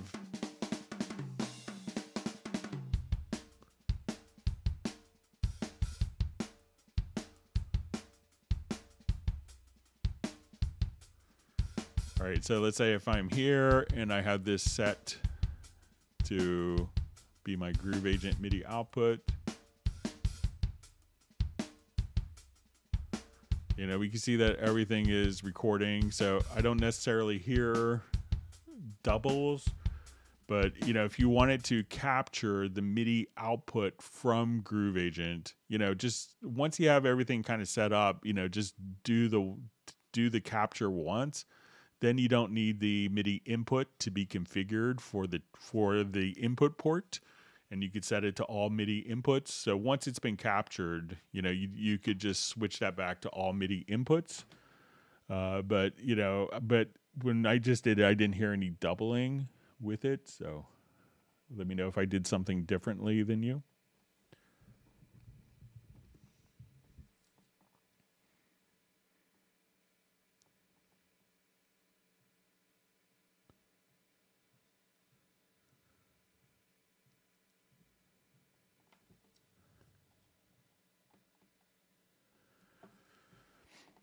Okay, so I just see, uh, hi Greg, when I render and place my BFD drums or Superior drummer, why does it only render eight channels only? Is there a way to turn my multi-output MIDI drums to audio? Um, so it should, you know, I'm not sure if there's a limitation, like, you know, when you go to Groove Agent here, we could have, again, up to uh, 32 outputs. So I'm not sure how many outputs are within those particular drum machines, but it's or drum programs. Uh, but there's no limit that's being imposed with Cubase. So again, if I just take this um, and I have my routing in Groove Agent set up here. So let's say, okay, I have, you know, and maybe it's just a routing issue in those programs but I'll just kind of set this up.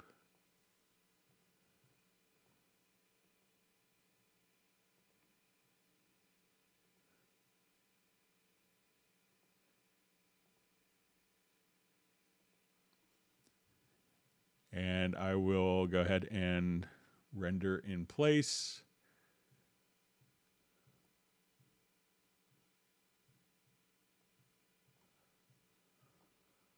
So I'll just say with channel settings, that they'll all just be kind of mapped out for me just like that. So if, you know, so as long as the outputs are assigned in the instrument, it should automatically just render in place for all of those particular outputs.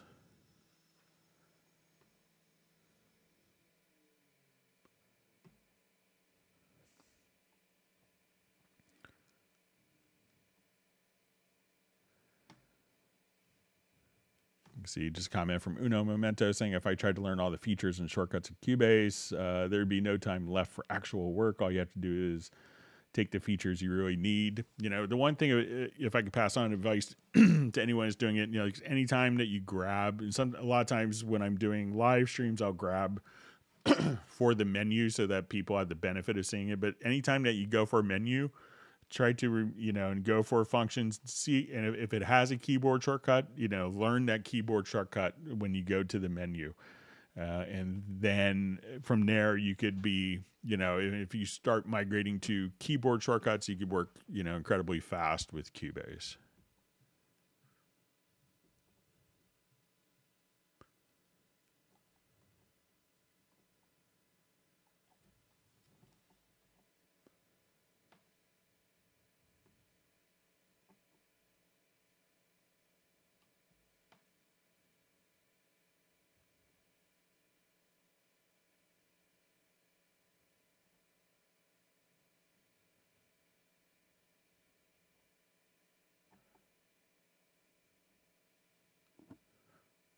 right? So.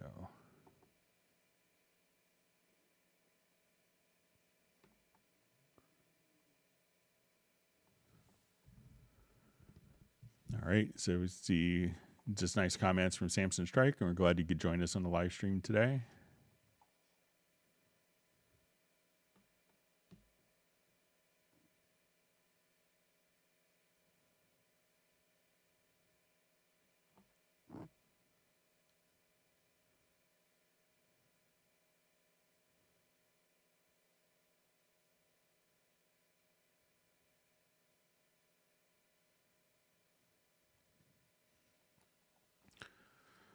All right, so we see how can do a melody using a keyboard and play in the same key.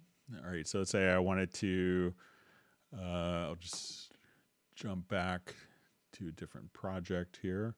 So if we always wanted to play in a particular key, um, there is a scale assistant that you could access uh, directly in the uh, MIDI key editor.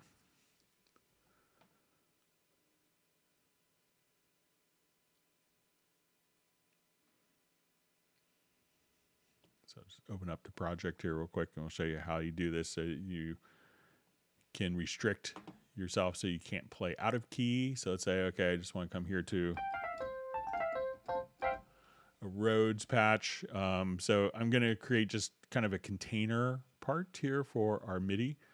So I'm just going to go and and then once we're in our key editor here, we go to our scale assistant.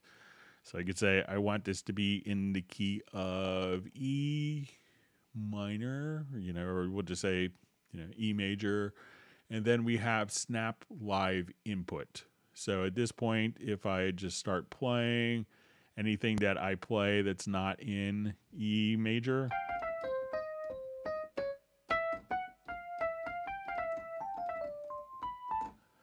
uh, and then as we've recorded it, it will automatically just, um, you know, we could come right over here and that will snap the live input so that it won't. Uh, I'll just turn auto quantize off here and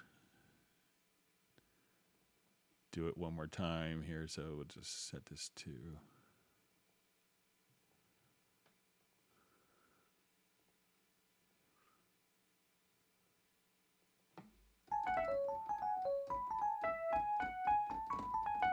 So once you have the Snap Live input, that will automatically just make sure that any of the notes that you just played will actually just be within the key. So Try the Snap Live input mode.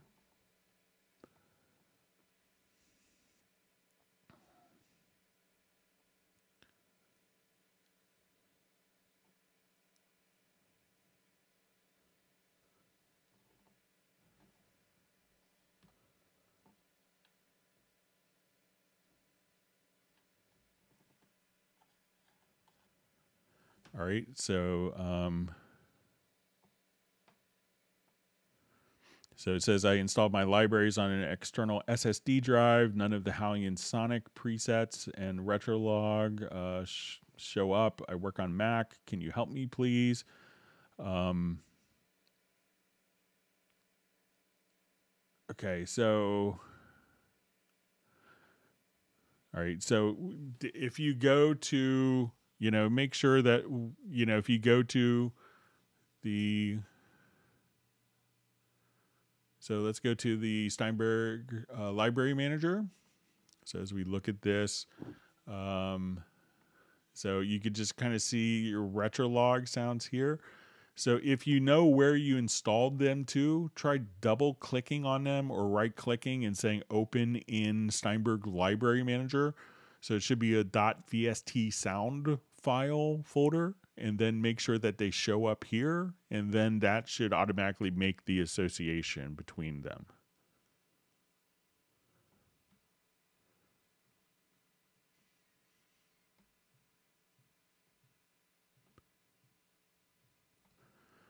Um, so we see um, question, hey Greg, does Cubase have aux tracks like other programs? And if so, does it work the same way?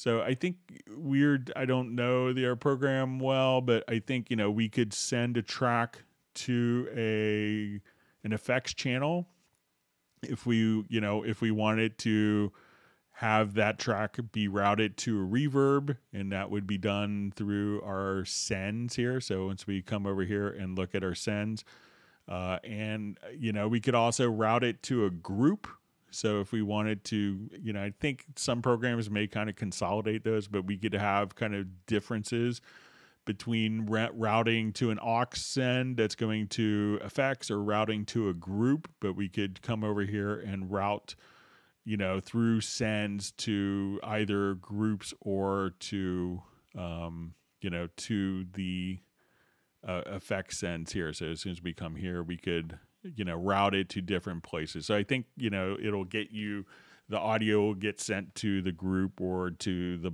the aux uh, to the effects track. So I think it's same thing but just different terminology.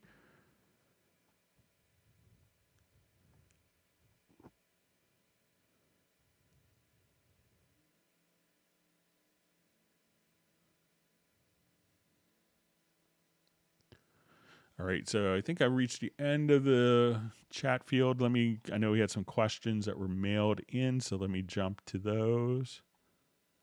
Thanks for all the great questions.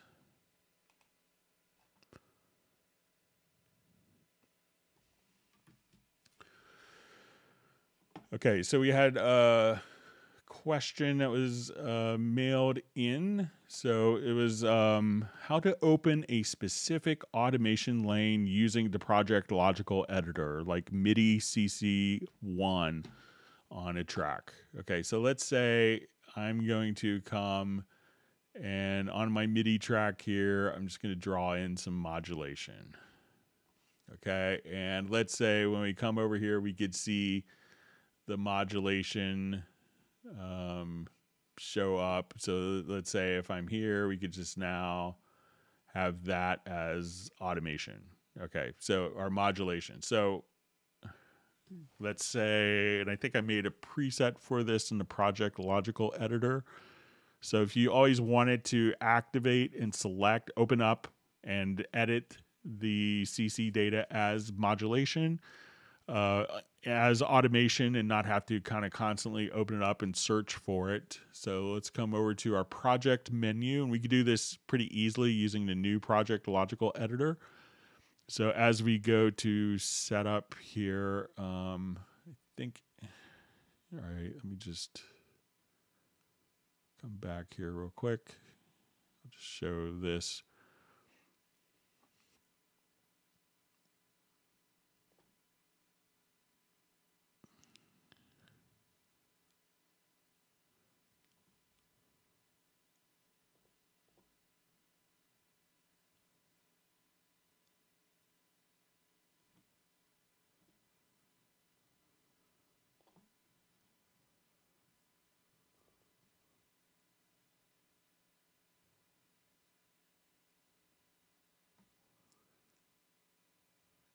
Show this here real quick.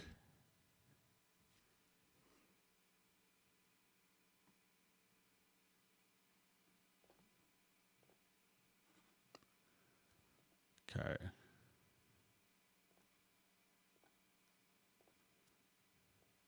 All right, so let's say we have automation here for modulation. And, you know, let's say we also typically have volume, you know, so let's say we have this and we want to now, let's go to our project logical editor.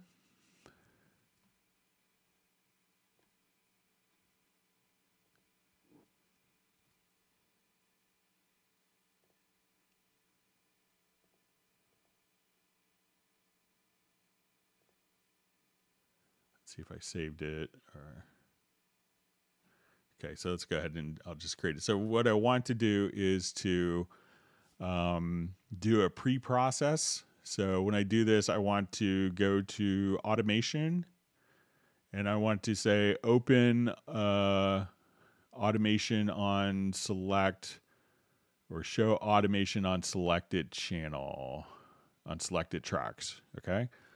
And now what I want to do is we're going to say, uh, we want to select and our media type is equal to automation and the name contains and we'll say CC1.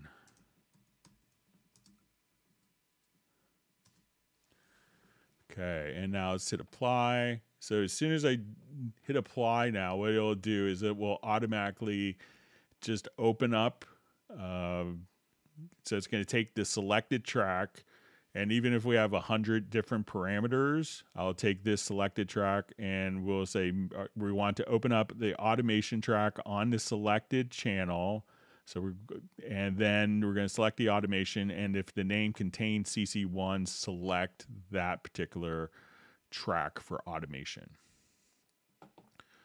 All right. Uh, so in doing the index for Tuesday's live stream, I think I realized I misunderstood a particular question about how to carry over track names to uh, when we have rendering of or exporting selected events. So let's say if I wanted to include the track name, so I'm sorry that I misunderstood. So let's say I have you know these events as you know future whatever that we have selected here. And we have this set to loops as our track name. So i'm going to select the particular events here. And you know in cubase 12 there's a new function for the render uh, or export selected events.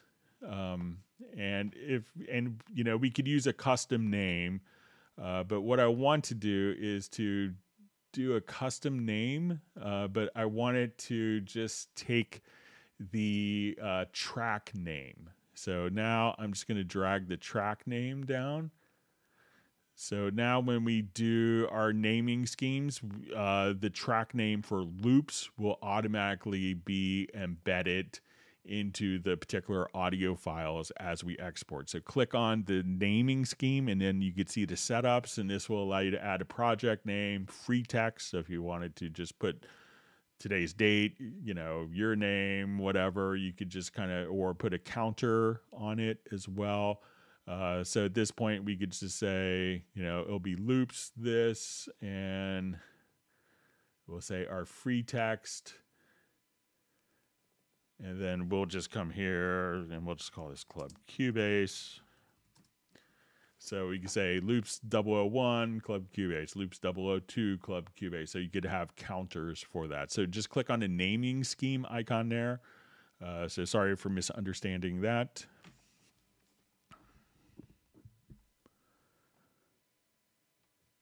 Okay, so we see, uh, hi Greg, thanks for all your info provided over these years. Uh, currently, I'm using platform M Plus to control the mixer in Cubase Pro 11. Uh, if you change the viewing zone of a track, uh, I example from middle to right, the tracks no follow tracks, uh, channel numbers will not be sequential, and platform M Plus faders will be messed up.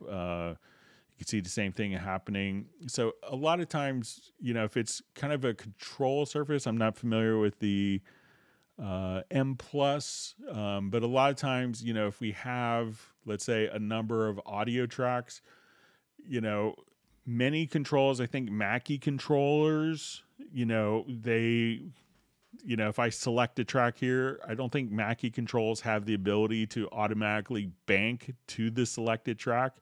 You could do the track selection from the Mackie control and initiate it there, but it doesn't follow. So that's probably, you know, so if it's working under a Mackie control protocol, that's probably why it's, you know, if you wanted it to follow here, that it's not following and kind of matching up, you know, with different controllers like a CC121, you know, that's not an issue. It's designed to work that way, but Mackie controls for the most part don't.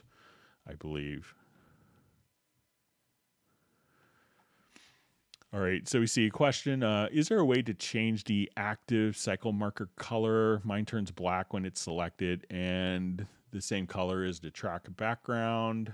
So I, I haven't found a way to, uh, so if we have a marker track here, so just come here, I'll just add a marker track and we'll just add a cycle marker based on that. So when it's selected, um, it is black. Um, so, but you know, it is slightly different, but just kind of like the editor uh, for like the guidelines that Best Korean Jesus asked about with the dark background.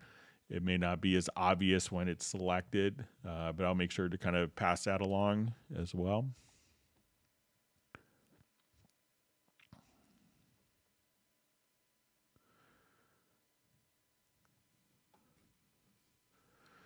Okay. Um, so we have a question. Uh, when I try to import track settings from one project into another in Nuendo 1103, it works fine at 44K and 48K, but at 88.2, uh, all the audio disappears in that project window when I'm importing track mixer data. Uh, the only workaround I found is to re import the audio from my project after track data. Any other suggestions?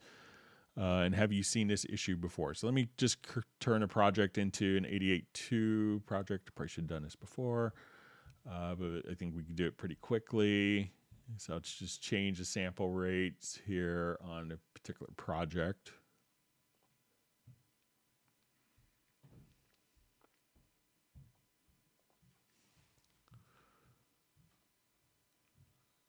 So change sample rates. I'm just going to go to my project setup and let's choose 88.2.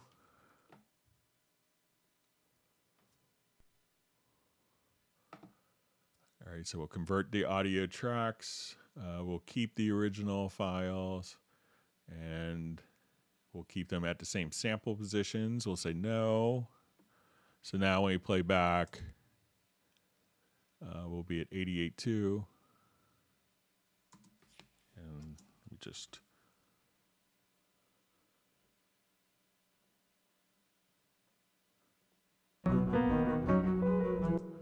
So I'm going to save this as bicycle 88.2.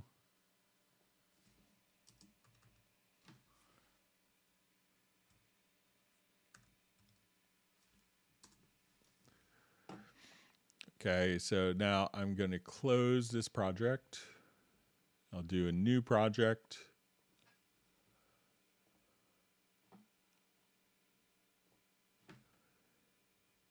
And I'm going to import tracks from project here.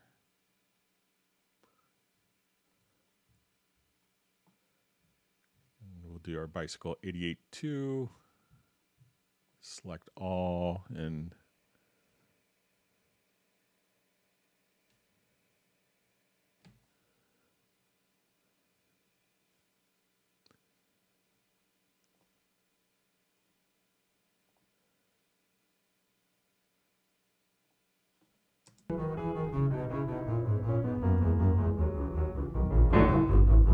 So I don't have any problems uh, with that. Um, you know, one of the things that you may want to try just out of curiosity is to see if it's maybe uh, one particular track or if there's a plugin that might be acting up or you know try a you know you may be able to import several tracks at a time and you know maybe there's one track that's being a culprit with it but it seemed to kind of work as expected here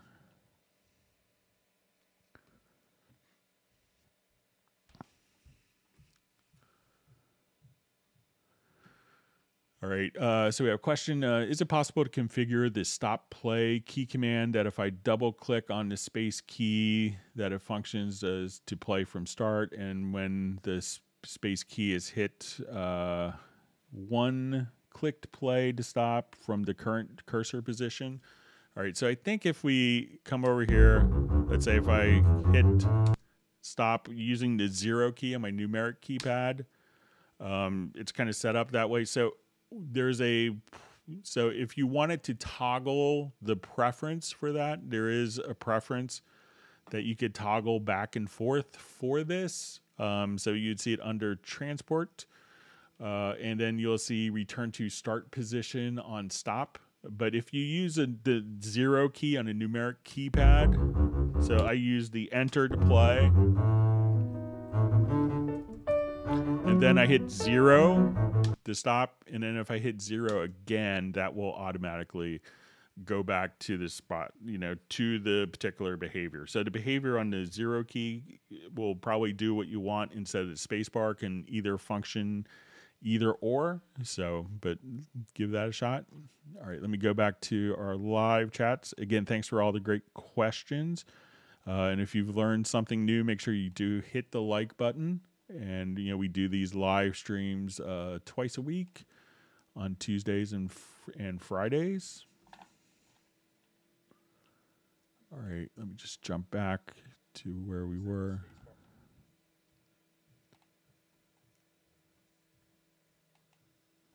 see, we got about 15 minutes left or so.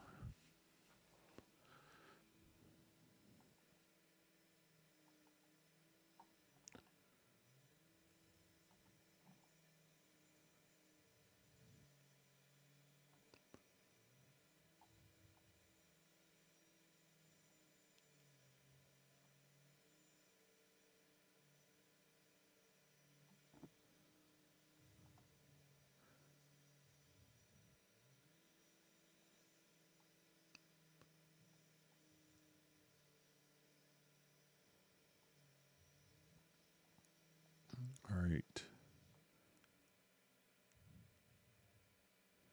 There we see Michael Pierce was able to sneak back in.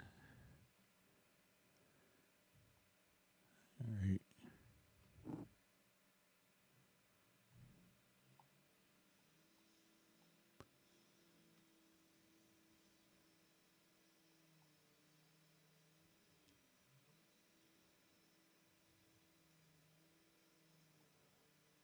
All right, just reading through comments.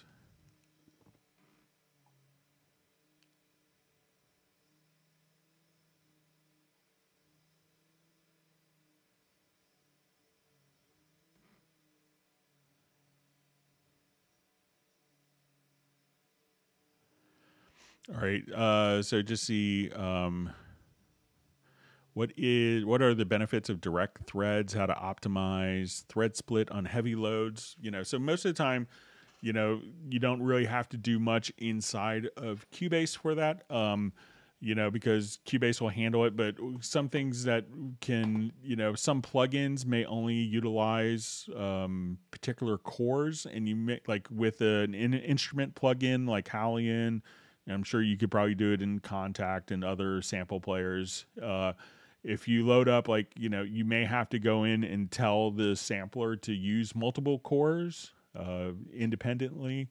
So, and that, you know, so sometimes people don't do that and they load up 30 instruments in one sampler and it's bogging down your system and it's really just bogging down one core that's making their system crawl. But you really don't have to do, um, you really don't have to do much on it from a user side to get the benefits of Cubase.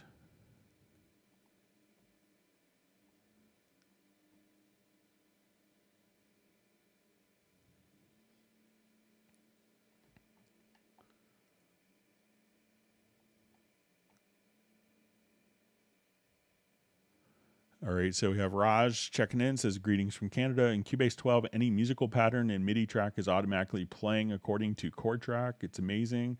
Can you explain more? So, you know, if you have, you know, different MIDI tracks, and I'll show you just a quick example here of one that's always a lot of fun. Um,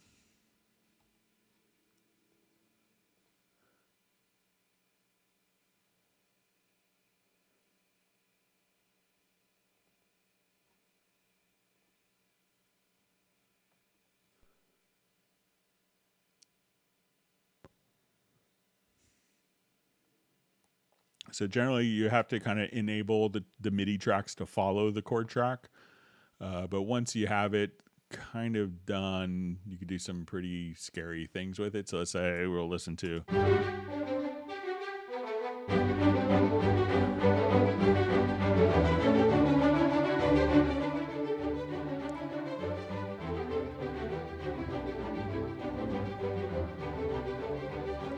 So let's say, you know, I just wanted to have all these tracks follow the chord track, but I could just come over here and say, okay, instead of it being in G major, let's make it G minor.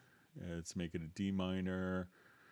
And so now we could just take all these tracks.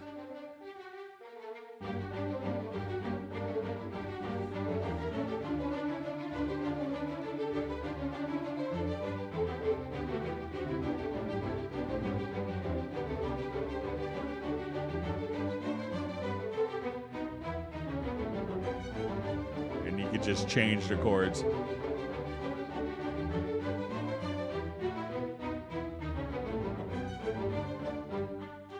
So, you know, and to get the MIDI tracks to follow the chords, you just go to the chords tab in the inspector. And at this point, you could just uh, switch it from off to chords and scales, or just to chords, or just to the scales. So.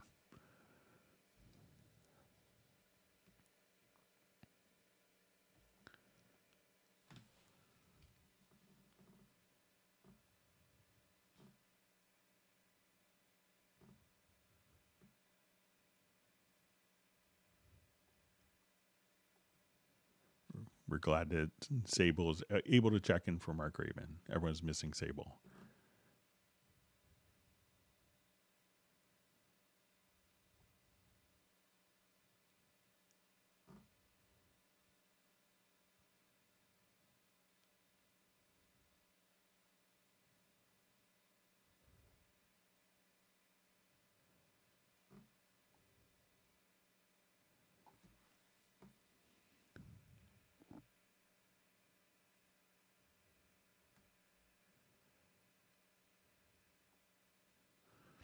Uh, I see Mark Rabin uh, just got a new iPhone. He's considering getting Cubasis for iPhone. So yeah, it's a uh, you know if you wanted to have a DAW on your phone, it's by far the best one.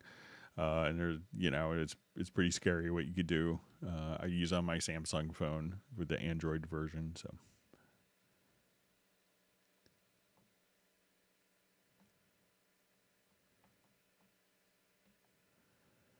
All right, so I think I might be at the end of the questions. I'll give it another minute. We'll see if other questions kind of sneak in.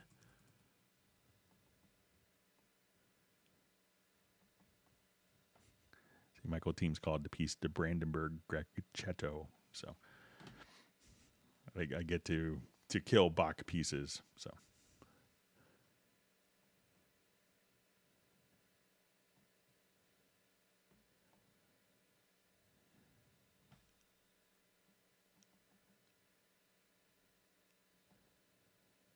Right, we'll just wait in our minute. If not, we'll wrap up just a couple minutes early.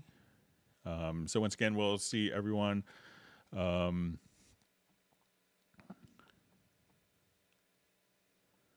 all right, so seeing really kind words from Mark Raven says thanks from all of us. Uh, you're really too kind and way too smart and talented. We appreciate you, Greg. Thank you so much. I appreciate it. It's a great way to kick off a weekend.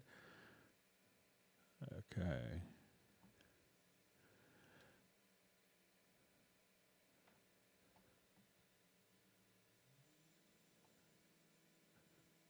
All right. So with that, I'll go ahead and wrap up. Thanks again for all the wonderful questions.